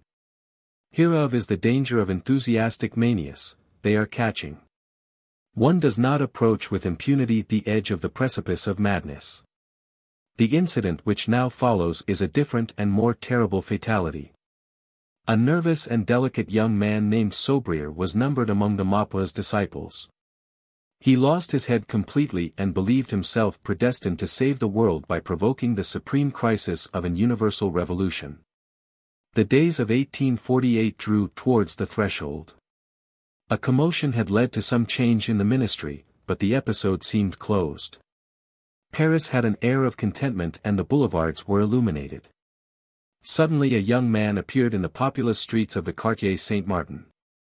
He was preceded by two street Arabs, one bearing a torch and the other beating to arms. A large crowd gathered, the young man got upon a post and harangued the people. His words were incoherent and incendiary, but the gist was to proceed to the Boulevard de Capucines and acquaint the ministry with the will of the people.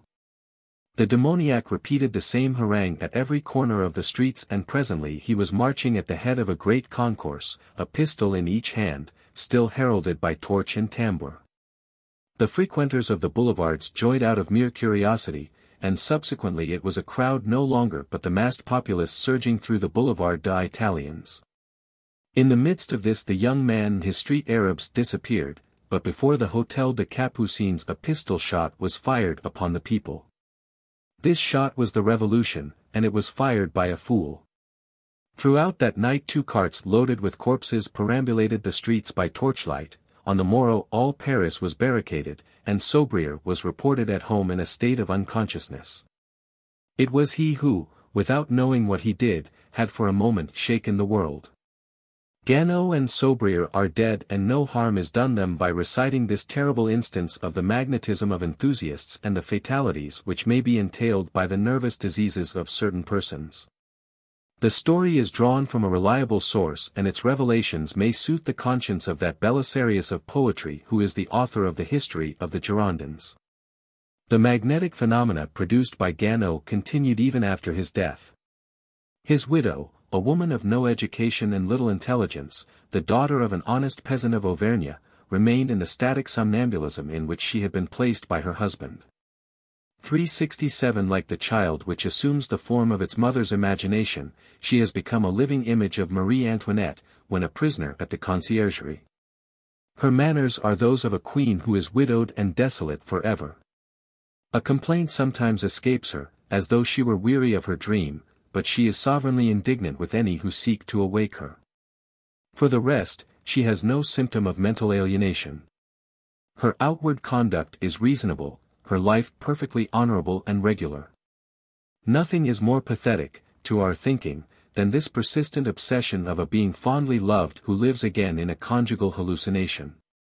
Had Artemis existed literally it would be permissible to believe that Mausol was also a powerful mesmerist, and that he had gained and fixed forever the affections of an extremely sensitive woman, outside all limits of free will and reason. 6. The Occult Sciences The secret of the occult sciences is that of nature herself, it is the secret of the generation of angels and worlds, it is that of God's own omnipotence. Ye shall be as the Elohim, knowing good and evil.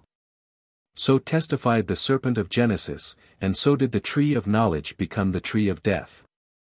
For six thousand years the martyrs of science have toiled and perished at the foot of this tree, so that it may become once more the tree of life.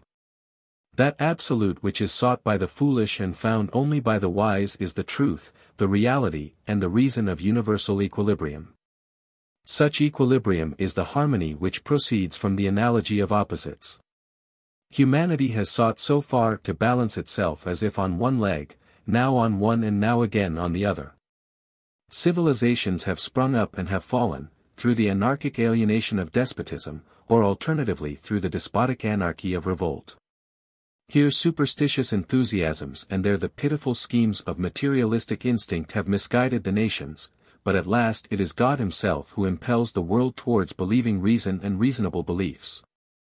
We have had enough and to spare of the prophets apart from philosophy and the philosophers destitute of religion. Blind believers and skeptics are on a par with one another, and both are equally remote from eternal salvation. In the chaos of universal doubt, and amidst the conflict of science and faith, the great men and the seers figure as sickly artists, seeking the ideal beauty at the risk of their reason and their life. Look at them now even, these sublime children. They are whimsical and nervous, like women, a shadow maims them, reason injures, they are unjust even to each other. And though assuredly on the quest of crowns, in their fantastic excesses they are the first to be guilty of that which Pythagoras forbids in one of his admirable symbols, they are the first to revile crowns and to trample them under their feet. They are fanatics of glory, but the good God has bound them by the chains of opinion, so that they may not be openly dangerous. Genius is judged by the tribunal of mediocrity, and this judgment is without appeal, because, being the light of the world, genius is accounted as a thing that is null and dead whenever it ceases to enlighten. The ecstasy of the poet is controlled by the indifference of the prosaic multitude, and every enthusiast who is rejected by general good sense is a fool and not a genius. Do not count the great artists as bondsmen of the ignorant crowd, for it is the crowd which imparts to their talent the balance of reason. Light is the equilibrium between shadow and brightness. Motion is the equilibrium between inertia and activity. Authority is the equilibrium between liberty and power. Wisdom is equilibrium in thought, virtue is equilibrium in the affections, beauty is equilibrium in form. Outlines that are lovely are true outlines, and the magnificence of nature is an algebra of graces and splendors. Whatsoever is true is beautiful, all that is beautiful should be true. Heaven and hell are the equilibrium of moral life. Good and evil are the equilibrium of liberty. The great work is the attainment of that middle point in which equilibrating force abides. Furthermore, the reactions of equilibrated force do everywhere conserve universal life by the perpetual motion of birth and death.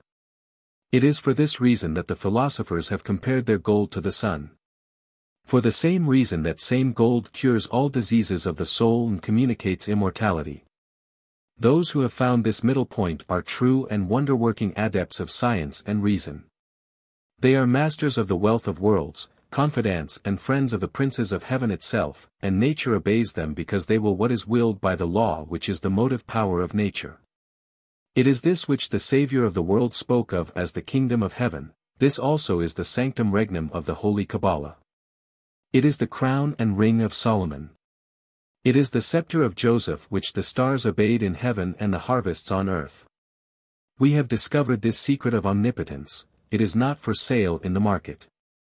But if God had commanded us to set a price thereon, we question whether the whole fortune of the buyers would seem its equivalent. Not for ourselves but for them, we should demand in addition their undivided soul and their entire life. 7. Summary and Conclusion. It remains for us to summarize and conclude. To summarize the history of a science is to summarize the science itself, and we are therefore to recapitulate the great principles of initiation, as preserved and transmitted through all the ages. Magical science is the absolute science of equilibrium. It is essentially religious, it presided at the formation of dogmas in the antique world and has been thus the nursing mother of all civilizations. O chaste and mysterious mother who, in giving milk of poetry and inspiration to the dawning generations, didst cover thy face and breast. Before all things she directs us to believe in God and to adore without seeking to define him, since a God in definition is to some extent a finite God. And after deity she points to eternal mathematics and equilibrated forces as to the sovereign principles of things. It is said in the Bible that God has ordered all things according to weight, number and measure. Omnia in pondera et numero et mensura disposuit Deus. Weight is equilibrium, number is quantity, measure is proportion, these three, and these are the eternal or divine basis of the science of nature. Here now is the formula of equilibrium, harmony results from the analogy of contraries. Number is the scale of analogies, the proportion of which is measure. The entire occult philosophy of the Zohar might be termed the science of equilibrium. 368 The key of numbers is found in the Sefer Yetzirah, their generation is analogous to the affiliation of ideas and the production of forms. On this account the illuminated hierophants of the Kabbalah combine the hieroglyphic signs of numbers, ideas and forms in their sacred alphabet. The combinations of this alphabet give equations of ideas, and comprise by way of indication all possible combinations in natural forms. According to Genesis, God made man in his image, but as man is the living synthesis of creation, it follows that creation itself is made in the likeness of God. There are three things in the universe, the spirit, the plastic mediator and matter. The ancients assigned to spirit, as its immediate instrument, that igneous fluid to which they gave the generic name of sulfur, to the plastic mediator, they assigned the name of mercury, because of the symbolism represented by the caduceus. To matter, they gave the name of salt, because of the fixed salt which remains after combustion, resisting the further action of fire. Sulfur was compared with the father on account of the generative action of fire. Mercury with the mother, because of its power of attraction and reproduction, and salt, in fine, was the child, or that substance which is subjected to education by nature. For them also the creative substance was one, and the name which they gave it was light. Positive or igneous light was volatile sulfur, light in the negative state, or made visible by the vibrations of fire, was the fluidic or ethereal mercury. And light neutralized, or shadow, the coagulated or fixed composite under the form of earth, was termed salt. After such manner did Hermes Trismegistus formulate his symbol, which is called the emerald tablet, that which is above is like that which is below, and that which is below is like that which is above. For the operations of the wonders of the one thing. 369 This means that the universal movement is produced by the analogies of fixed and volatile, the volatile tending to be fixed and the fixed to become volatile, thus producing a continual exchange between the modes of the one substance and from the fact of the exchange, the combinations of universal form in everlasting renewal. The fire is Osiris, or the sun, the light is Isis, or the moon. They are the father and mother of that grand telesma which is the universal substance, not that they are its creators but rather its generating powers, the combined effort of which produces the fixed or earth. Whence Hermes says that this force has reached its plenary manifestation when earth has been formed therefrom. Osiris is not therefore God, even for the great hierophants of the Egyptian sanctuary.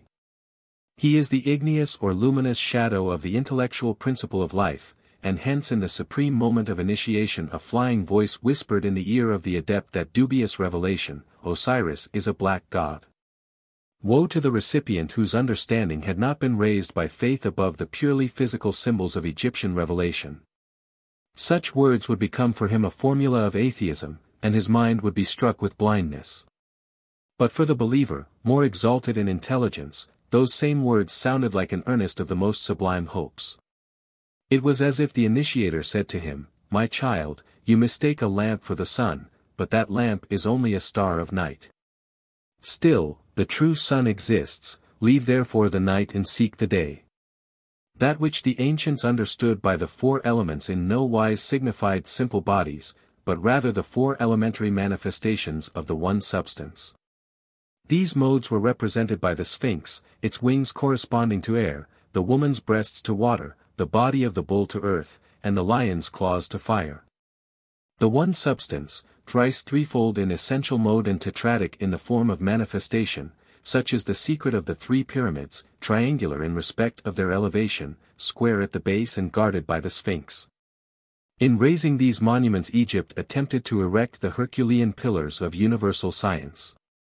Sands have accumulated, centuries have passed, but the pyramids in their eternal greatness still propound to the nations that enigma of which the solution is lost. As to the Sphinx, it seems to have sunk in the dust of ages. The great empires of Daniel have reigned by turn upon the earth and have gone down into the tomb, overwhelmed by their own weight. Conquests on the field of battle, monuments of labor, results of human passions, all are engulfed with the symbolic body of the Sphinx, now only the human head rises over the desert sands as if looking for the universal empire of thought.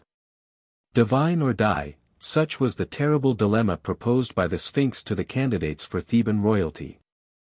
The reason is that the secrets of science are actually those of life, the alternatives are to reign or to serve, to be or not to be.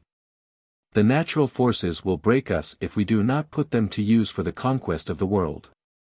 There is no mean between the height of kinghood and the abyss of the victim state, unless we are content to be counted among those who are nothing because they ask not why or what they are. The composite form of the Sphinx also represents by hieroglyphical analogy the four properties of the universal agent, that is to say, the astral light, dissolving, coagulating, heating and cooling. These four properties, directed by the will of man, can modify all phases of nature, producing life or death, health or disease, love or hatred, wealth even or poverty, in accordance with the given impulsion. They can place all the reflections of the light at the service of imagination, they are the paradoxical solution of the wildest questions which can be set for transcendental magic. Specimens of these paradoxical questions shall here follow, together with the answers thereto, 1. Is it possible to escape death? 2. Is there such a thing as the philosophical stone, and what must be done to find it? 3. Is it possible to be served by spirits? 4. What is meant by the key, ring and seal of Solomon? 5. Is it possible to predict the future by reliable calculations? 6. Can good or evil be worked at will by means of magical power? 7. What must be done to become a true magician? 8. What are the precise forces put in operation by black magic? We term these questions paradoxical because they are outside all that is understood as science, while at the same time they seem negative by faith. If propounded by an uninitiated person, they are merely foolhardy, while their complete solution, if given by an adept, would seem like a sacrilege. God and nature alike have closed the sanctuary of transcendent science and this in such a manner that, beyond a certain limit, he who knows would speak to no purpose, because he would not be understood. The revelation of the great magical secret is therefore happily impossible. The replies which we are about to give will be the last possible expression of the word in magic, and they will be put in all clearness, but we do not guarantee to make them comprehensible to our readers.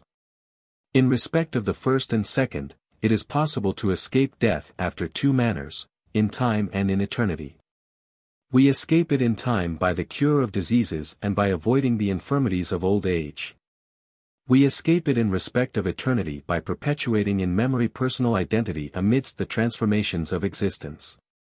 Let it be certified, 1. That the life resulting from motion can only be maintained by the succession and the perfecting of forms, 2. That the science of perpetual motion is the science of life. 3. That the purpose of this science is the correct apprehension of equilibrated influences, 4 that all renewal operates by destruction, each generation therefore involving a death and each death a generation.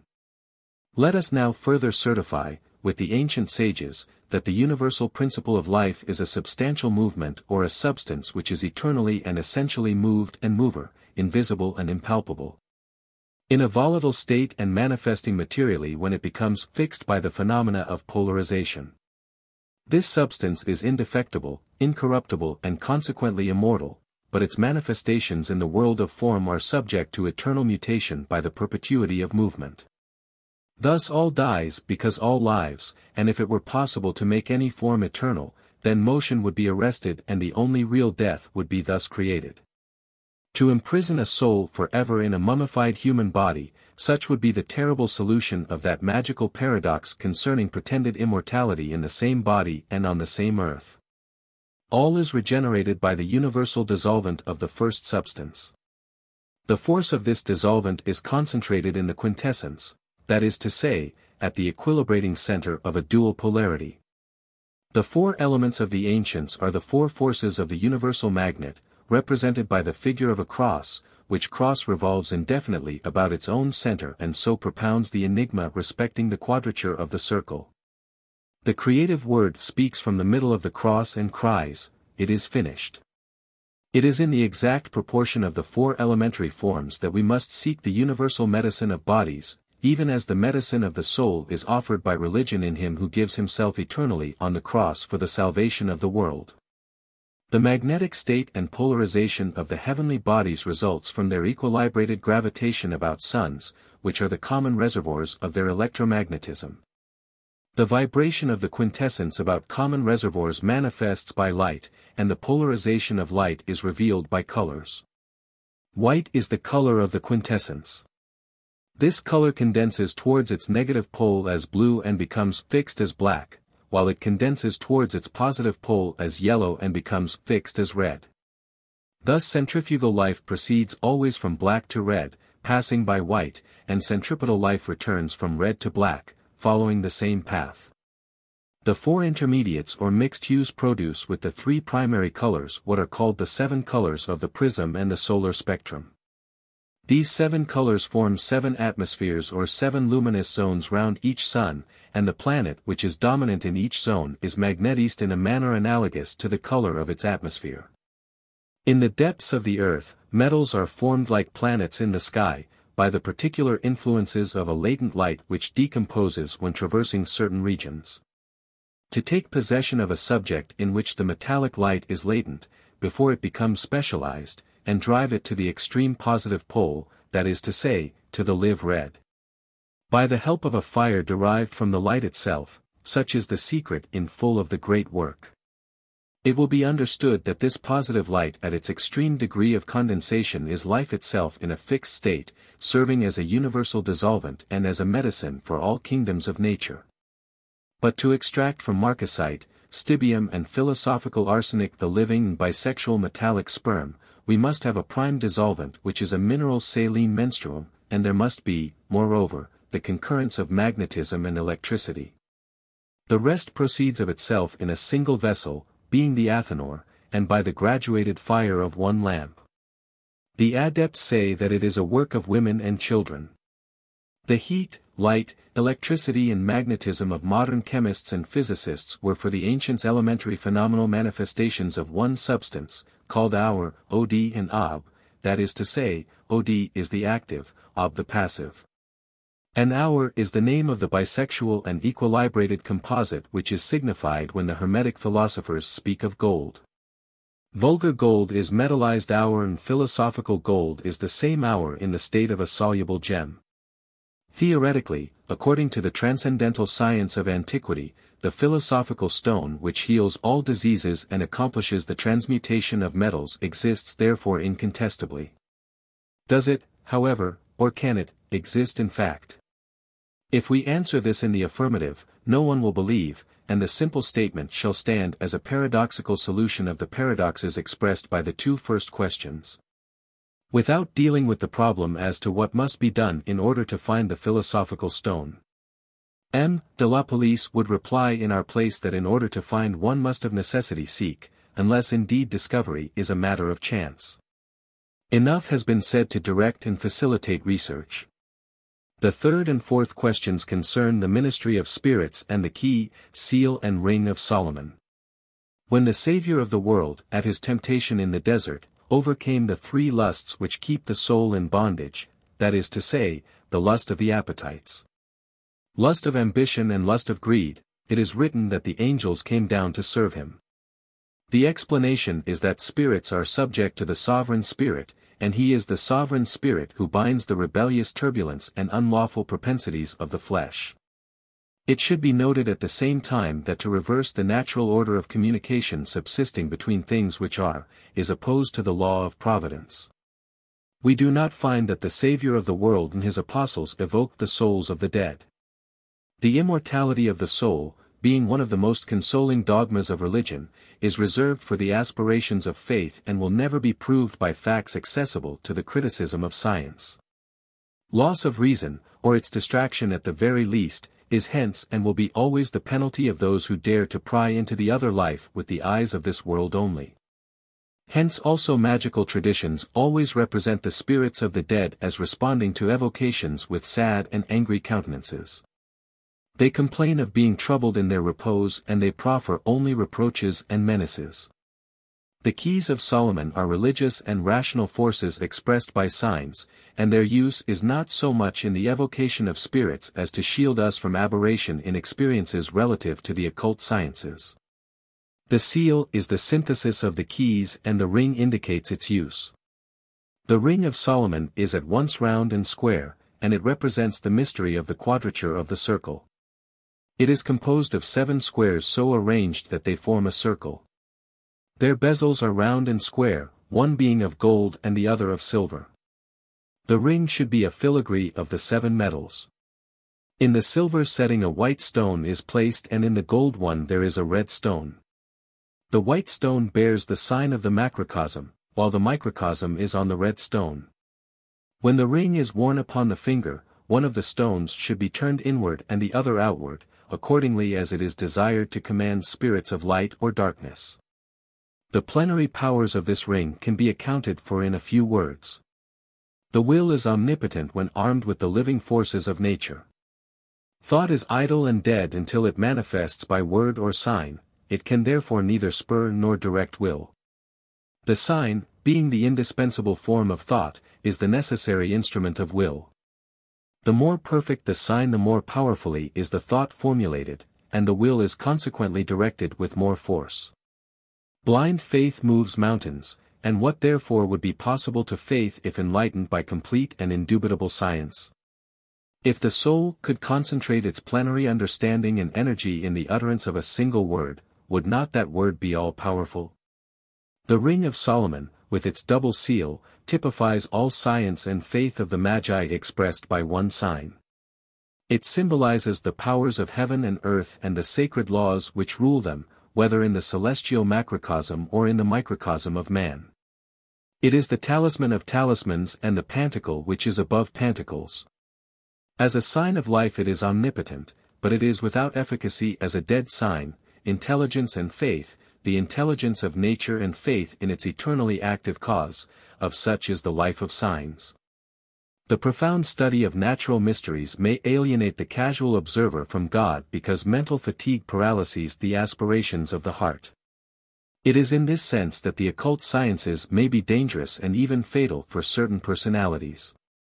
Mathematical exactitude, the absolute rigor of natural laws, their harmony and simplicity, suggest to many an inevitable, eternal, inexorable mechanism, and for such as these providence recedes behind the iron wheels of a clock in perpetual motion.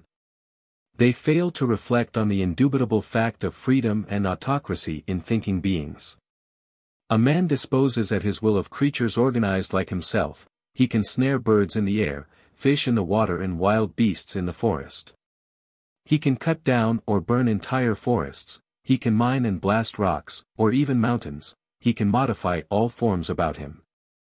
And yet, notwithstanding the supreme analogies of nature, he refuses to believe that other intelligent beings might at their will disintegrate and consume worlds. Extinguish suns by a breath or reduce them to starry dust, being so great that they are too much for our faculty of sight, even as we, in our turn, are probably inappreciable to the eye of the mite or worm. And if such beings exist without the universe being destroyed a thousand times over, must we not admit that they are under obedience to a supreme will, a wise and omnipotent force, which forbids them to annihilate worlds? Even as it forbids us to destroy the swallow's nest and the chrysalis of the butterfly. For the magus who is conscious of this power in the deep places of his nature and who discerns in universal law the instruments of eternal justice, the seal of Solomon, his keys and his ring are tokens of supreme royalty.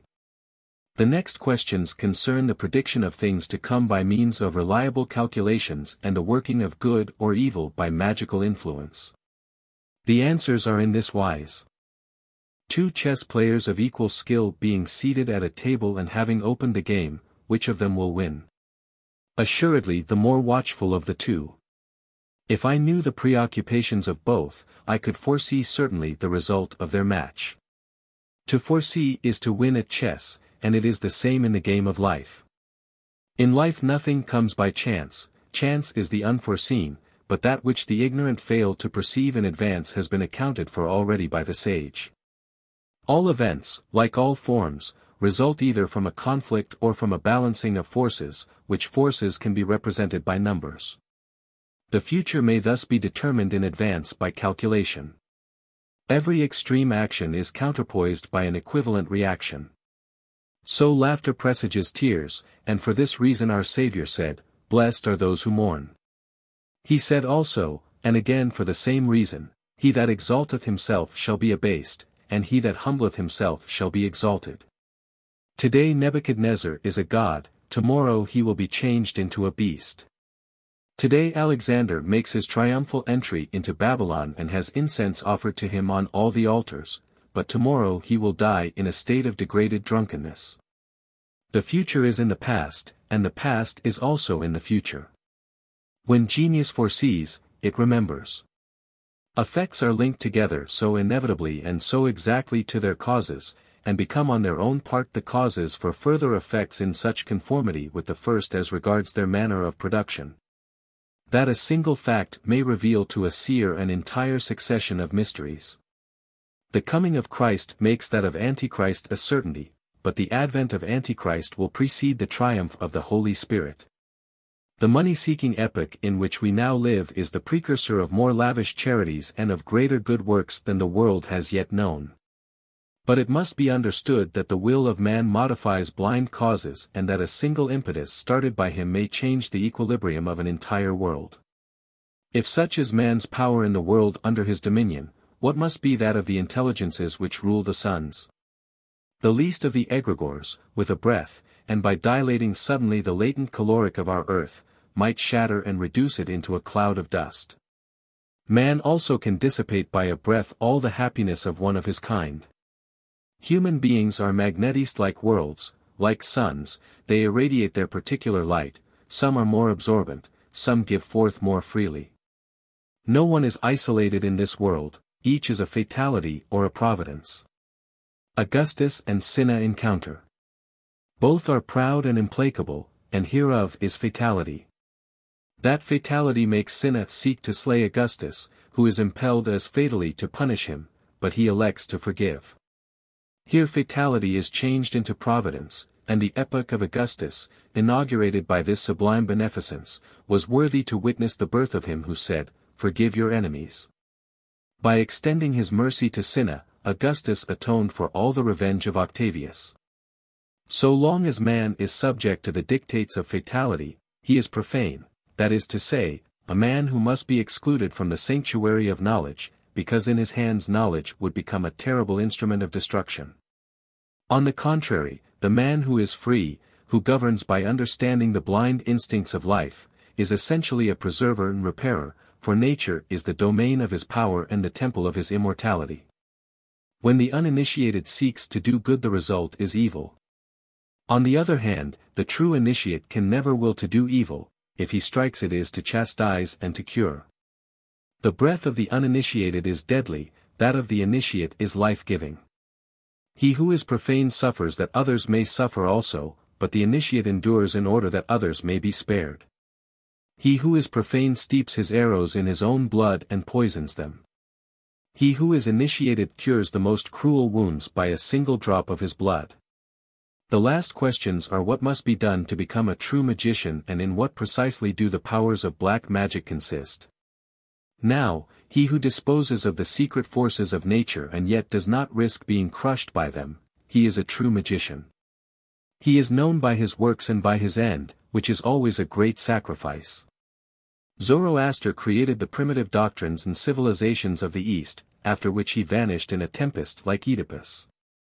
Orpheus gave poetry to Greece and with that poetry the beauty of all high things. He then perished in an orgy in which he refused to join. All his virtues notwithstanding, Julian was only an initiate of black magic, his death was that of a victim and not of a martyr. It was an annihilation and a defeat, he failed to understand his epoch. Though acquainted with the doctrine of transcendental magic, he misapplied the ritual. Apollonius of Tyana and Synesius were simply wonderful philosophers.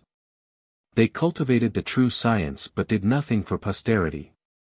At their period the magi of the gospel reigned in the three parts of the known world, and the oracles were silenced by the cries of the babe of Bethlehem. The King of Kings, the magus of all magi, had come into the world and the ritual worships, the laws, the empires, all were changed. There is a void in the world of marvels between Jesus Christ and Napoleon. That incarnate word of battle, that armed Messiah who was the bearer of the last name, came blindly and unconsciously to complete the Christian message. This revelation had so far taught us how to die, but the Napoleonic civilization has shown us how to conquer. The two messages, sacrifice and victory, how to suffer, to die, to strive and to overcome, contrary as they are in appearance, comprise in their union the great secret of honor. Cross of the Savior and cross of valor, you are incomplete when apart from one another, for he only knows how to conquer who has learned self-devotion, even to death, and how can this be attained except by belief in eternal life.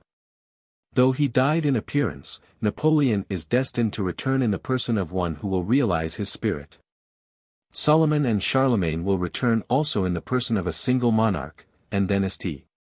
John the Evangelist, who according to tradition shall be reborn at the end of time, will appear as sovereign pontiff, the apostle of understanding and of love. The combination of these two rulers, announced by all the prophets, will bring about the wonder of the world's regeneration. The science of the true magician will be then at its zenith, for so far our workers of miracles have been for the most part sorcerers and bondsmen, that is to say, the blind instruments of chance. Now, the masters whom fatality casts upon the world are soon overthrown thereby, and those who conquer in the name of their passions shall fall the prey of those passions. When Prometheus in his jealousy of Jupiter stole the thunderbolts of the god, he sought to create an immortal eagle, but what he made and immortalized was a vulture. We hear in another fable of that impious king Ixion, who would have ravished the queen of heaven, but that which he received in his arms was a faithless cloud, and he was bound by fiery serpents to the inexorable wheel of destiny.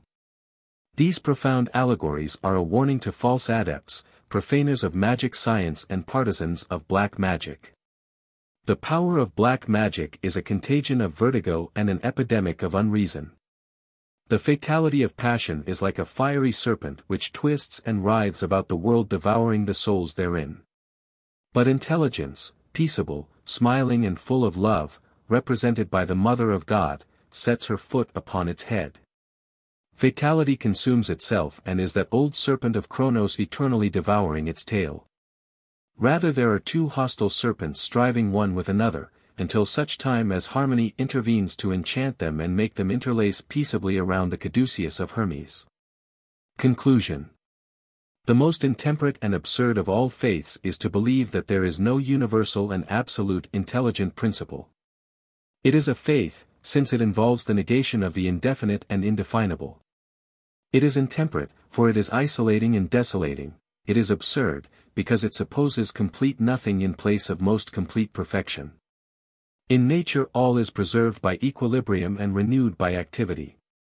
Equilibrium in order and activity signifies progress. The science of equilibrium and movement is the absolute science of nature.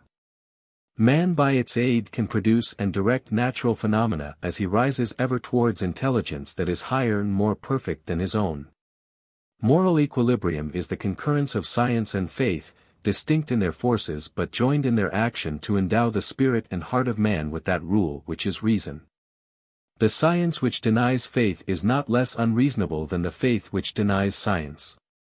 The object of faith cannot be defined and still less denied by science. Science, on the contrary, is itself called to substantiate the rational basis of the hypotheses of faith. An isolated belief does not constitute faith, because it lacks authority and hence moral guarantee, it tends to fanaticism and superstition. Faith is the confidence which is imparted by religion, that is to say, by the communion of belief. True religion is constituted by universal suffrage. It is therefore ever and essentially Catholic, that is to say, universal. It is an ideal dictatorship proclaimed generally in the revolutionary domain of the unknown. When the law of equilibrium is understood more adequately it will put an end to all the wars and revolutions of the old world. There has been conflict between powers as between moral forces. The papacy is blamed because it clings to temporal power, but what is forgotten is the Protestant tendency towards usurpation of spiritual power. So long as the royalties put forward a pretension to be popes, so long will the popes be driven, by the same law of equilibrium, to the pretension of being kings. The whole world continues to dream of unity in political power, but it does not understand the power resident in equilibrated dualism.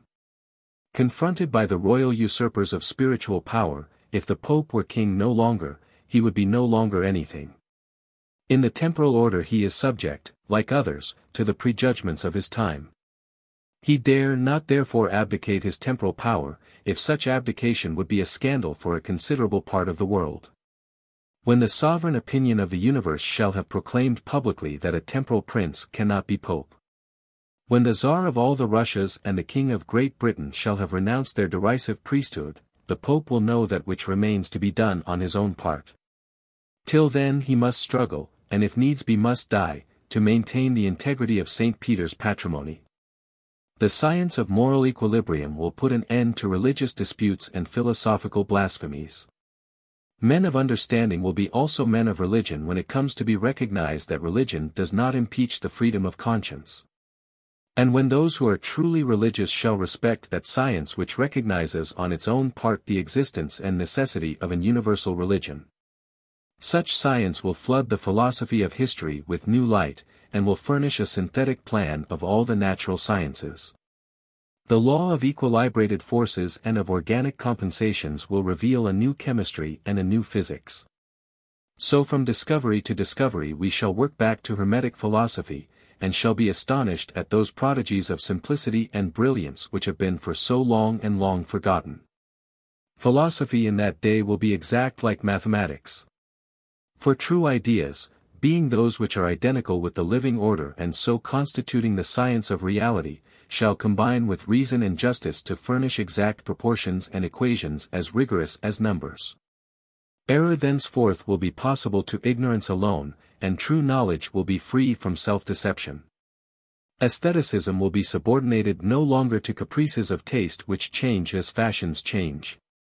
If the beautiful is the splendor of the true, we shall be able to calculate without error the radiation of a light of which the source shall be certainly known and determined with exact precision. Poetry will abound no longer with foolish and subversive tendencies, nor will poets be those dangerous enchanters whom Plato crowned with flowers and banished from his republic. They will be rather magicians of reason and gracious mathematicians of harmony. Does this mean that the earth will become an Eldorado? No, for so long as humanity exists, there will be children, meaning those who are weak, small, ignorant and poor. But society will be governed by its true masters, and there will be no irremediable evil in human life. It will be understood that the divine miracles are those of eternal order, and the phantoms of imagination will be worshipped no longer on the faith of unexplained wonders. The abnormal character of certain phenomena is only a proof of our ignorance in the presence of the laws of nature. When God designs to communicate the knowledge of himself he enlightens our reason and does not seek to confound or surprise it. In that day we shall know the utmost limit of the power of man who is created in the image of God. We shall realize that he also is a creator in his own sphere and that his goodness, directed by eternal reason, is a lower providence for beings which are placed by nature under his influence and domination. Religion will then and forevermore have nothing to fear from progress, and will follow in the course thereof. The blessed Vincent de Lerins, a doctor justly venerated in the golden chain of Catholicism, expresses admirably this accord between progress and conservative authority. According to him, true faith is worthy of our confidence only on account of that invariable authority which safeguards its dogmas from the caprices of human ignorance. This notwithstanding, adds Vincent de Lerins, such immobility is not death. On the contrary, it preserves a germ of life for the future. That which we believe today without understanding will be understood by the future, which will rejoice in the knowledge thereof. Posteritas intellectum gratulator, quod ante vetustas non intellectum venerabatur. If therefore we are asked whether all progress is excluded from the religion of Christ Jesus, the answer is no, assuredly, for great is the progress expected. Who indeed would be so jealous of humanity and at such enmity with God as to wish to hinder progress? But the condition is that it should be progress in reality, and not change of belief. Progress is the growth and development of each thing according to its class and its nature. Disorder is confusion and the medley of things and their nature. There must be undoubtedly a difference in the degrees of intelligence, science and wisdom, as much for men in general as for each man in particular, according to the natural succession of epochs in the Church. But so only that all be conserved and that dogma shall ever cherish the same spirit and maintain the same definition. Religion should develop souls successively, as life develops bodies which remain the same through all the stages of their growth. How great is the difference between the infantile flower of early years and the maturity of age. The old notwithstanding are the same in respect of personality as they were in boyhood, it is the exterior and the appearances which have changed. The limbs of an infant in the cradle are exceedingly frail, yet are they the same organs, having the same root principles, as those of the man, and this must be so, for otherwise there is deformity or death. The analogy obtains in the religion of Jesus Christ, for progress therein is fulfilled according to the same conditions and following similar laws. It grows with the years, with the years it increases in strength, but nothing is added to the sum total of its being. It was born complete and perfect in respect of proportions, and it grows and extends without changing. Our fathers sowed the wheat, and our nephews ought not to reap tares. The intermediate crops change nothing in the nature of the grain, we leave it perforce as we take it. Catholicism planted roses, and is it for us to substitute brambles? No, unquestionably, otherwise, woe to us. The balm and cinnamon of this spiritual paradise must not change in our hands to aconite and poison. All whatsoever which in the church, that lovely land of God, has been sown by the fathers must be cultivated and nourished by the sons. This only must grow, and this alone blossom, but it may increase, and it should develop. As a fact, God permits that the dogmas of his heavenly philosophy shall be studied, developed, polished in a certain sense, but that which is forbidden is to change them, and that which is a crime is to prune them or to mutilate. May new light come down on them and the wise distinctions multiply, but let them ever preserve their fullness, their integrity, and their native quality. Let us therefore take it for granted that all conquests of science in the past have been achieved for the profit of the universal church, and, with Vincent de Lerins, let us allocate thereto the undivided heritage of all progress to come. Unto her be the great aspirations of Zoroaster and all discoveries of Hermes, hers be the key of the holy arch and the ring of Solomon, for she represents the holy and immutable hierarchy. She is stronger by reason of her struggles and is grounded by her apparent falls in still greater stability. She suffers in order that she may reign, she is cast down that she may be exalted in her rising, and she dies that she may rise again. We must be prepared, says Comte Joseph de Maistre, for a great event in the divine order, we are moving towards it at an accelerated pace, which must be manifest to all observers, while striking oracles announce that the hour is at hand. Many prophecies in the Apocalypse have reference to these modern times. One writer has gone so far as to say that the event is already inaugurated and that the French nation is destined to become the great instrument of the most mighty of all revolutions. There is perhaps no truly religious man in all Europe, I speak of the educated classes, who is not in expectation of something extraordinary at this present moment. Does a general presentiment of the kind count for nothing? Go back through past ages, even to the birth of our Savior. At that period a high and mysterious voice, beginning in the eastern realms, proclaimed that the east was about to triumph, that a conqueror would come out of Judea, that a divine infant was given us. That he would descend from highest heaven and restore the golden age upon the earth. Such ideas were spread abroad everywhere, and as they lent themselves to poetry above all things, they were taken over by the greatest of Latin poets and emblazoned with brilliant hues in his Pollio. Today, as in the time of Virgil, the universe is in expectation, and how on our part shall we despise such strong persuasion, or by what right condemn those who are devoted to sacred researches on the indications of divine signs?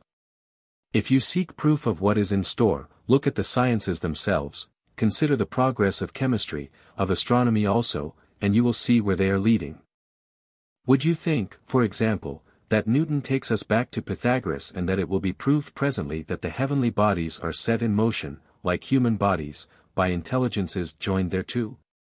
We know not how, but this is what is on the point of being verified beyond all dispute. Such doctrine may seem paradoxical and even ridiculous, because current opinion imposes this view. But let us wait till the natural affinity of religion and science marry both in the mind of a single man of genius. His advent cannot be far off, and then the opinions which now seem bizarre or irrational will become axioms which no one will question, while people will talk of our present stupidity as they now speak of medieval superstition. 370. According to St. Thomas, and it is a beautiful utterance, all that God wills is just, but that which is just should not be so designated only because God wills it, non ex hoc dicitur justum quod Deus illud vult. The moral doctrine of the future is contained herein, and from its fruitful principle one deduction follows immediately, not only is it good from the standpoint of faith to do what is ordained by God. But even from the standpoint of reason it is excellent and rational to obey him. Man can therefore say, I do good not only because God wills it but because I also will. The will of humanity may be thus at once free and in conformity, for reason, demonstrating in an irrecusable fashion the wisdom of the prescriptions of faith, will act on its proper impulse by following the divine law, of which reason thus becomes. As it were, the human sanction. From that time forward superstition and impiety will be no longer possible, while from these considerations it follows that in religion and in practical, that is to say, in moral, philosophy, there will be an absolute authority. And moral dogmas will alone be revealed and established. Till then we shall have the pain and consternation of seeing daily the most simple and universal questions of right and duty challenged, while if blasphemies are reduced to silence. It is one thing to impose such silence but another to persuade and convert. So long as transcendent magic was profaned by the wickedness of men, the Church of Necessity proscribed it. False Gnostics have discredited that name of Gnosticism which was once so pure, sorcerers have outraged the children of the Magi. But religion, that friend of tradition and guardian of the treasures of antiquity, can no longer reject a doctrine anterior to the Bible and in perfect accord with traditional respect for the past. As well as with our most vital hopes for progress in the future. The common people are initiated by toil and by faith into the right of property and knowledge. There will be always such a people, as there will be children always. But when the aristocracy, endowed with wisdom, shall become a mother to the people, the path of personal, successive, gradual emancipation will be open to all.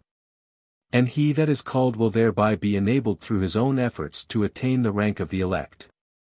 This is that mystery of the future which antique initiation concealed in its dark recesses. The miracles of nature made subject to the will of man are reserved for the elect to come. The crook of the priesthood shall become the rod of miracles. It was so in the time of Moses and of Hermes, it will be so again. The scepter of the Magus will be that of the world's king or emperor.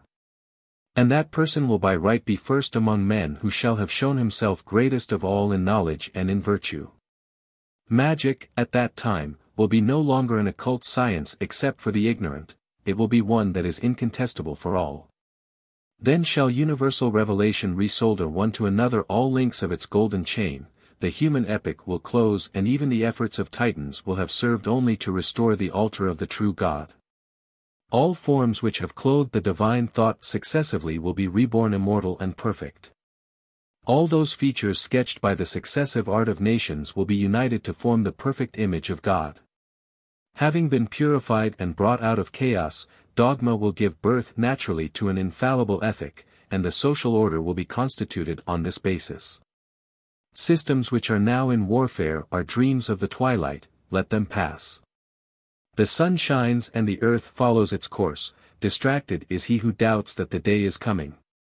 Distracted also are those who say that Catholicism is only a dead trunk and that we must put the axe there too. They do not see that beneath its dry bark the living tree is renewed unceasingly. Truth has no past and no future, it is eternal, it is not that which ends, it is our dream only. Hammer and hatchet, which destroy in the sight of man, are in God's hand as the knife of a pruner, and the dead branches, being superstitions and heresies in religion. Science and politics, can alone be lopped from the tree of everlasting convictions and beliefs. It has been the purpose of this history of magic to demonstrate, that, at the beginning, the symbols of religion were those also of science, which was then in concealment. May religion and science, reunited in the future, give help and shew love to one another, like two sisters, for theirs has been one cradle. Here ends the history of magic. Appendix Author's Preface prefixed to the first edition 371. The works of Eliphas Levi on the science of the ancient Magi are intended to form a complete course, divided into three parts. The first part contains the doctrine and ritual of transcendental magic, the second is the history of magic, and the third will be published later under the title of the Key to the Great Mysteries. Taken separately, each of these parts gives a complete instruction and seems to contain the whole science, but in order to a full understanding of one it is indispensable to study the two others carefully. The triadic division of our undertaking has been imposed by the science itself, because our discovery of its great mysteries rests entirely upon the significance which the old Hierophants attached to numbers. Three was for them the generating number, and in the exposition of every doctrine they had regard to, a. the theory on which it was based, b. its realization and, c. its application to all possible uses. Whether philosophical or religious, thus were dogmas formed, and thus the dogmatic synthesis of that Christianity which was heir of the Magi imposes on our faith the recognition of three persons in one God and three mysteries in universal religion. We have followed in the arrangement of the two works already published, and shall follow in the third work, the plan indicated by the Kabbalah, that is to say, by the purest tradition of occultism. Our doctrine and ritual are each divided into 22 chapters distinguished by the 22 letters of the Hebrew alphabet. We have set at the head of each chapter the letter thereto belonging and the Latin words which, according to the best writers, represent its hieroglyphical meaning. For example, at the head of the first chapter will be found 1a. The recipient. Disciplina. Ensof. Kether. The explanation is that the letter Aleph equivalent to A in Latin, and having the number 1 as its numerical value, signifies the recipient. The man who is called to initiation, the qualified personality, corresponding to the bachelor of the tarot. It signifies also disciplina, or dogmatic solipsis, ensof, or being in its general and primary conception, and finally, kether, or the crown, which, in Kabbalistic theology, is the first and obscure idea of divinity. The chapter in question is the development of the title and the title contains hieroglyphically the whole chapter. The history of magic, which follows, narrates and explains, according to the general theory of the science furnished in the doctrine and ritual, the realization of that science through the ages. As the introduction explains, it is constituted in harmony with the number seven, the septenary being the number of the creative week and of divine realization. The key to the great mysteries will be established on the number four, which is that of the enigmatic forms of the Sphinx and of elementary manifestations. It is also the number of the square and of force. In the book referred to, certitude will be established on irremovable bases. The enigma of the Sphinx will have its complete solution and our readers will be provided with that key of things kept secret from the foundation of the world which the learned Postel only dared to depict enigmatically in one of his most obscure books. Giving no satisfactory explanation. The history of magic explains the affirmations found in the doctrine and ritual, the key of the great mysteries will complete and explain the history of magic. In this manner, for the attentive reader at least, we trust that nothing will be found wanting in our revelation of the secrets of Jewish Kabbalism and of supreme magic, whether that of Zoroaster or of Hermes. The writer of these books gives lessons willingly to serious and interested persons in search of these.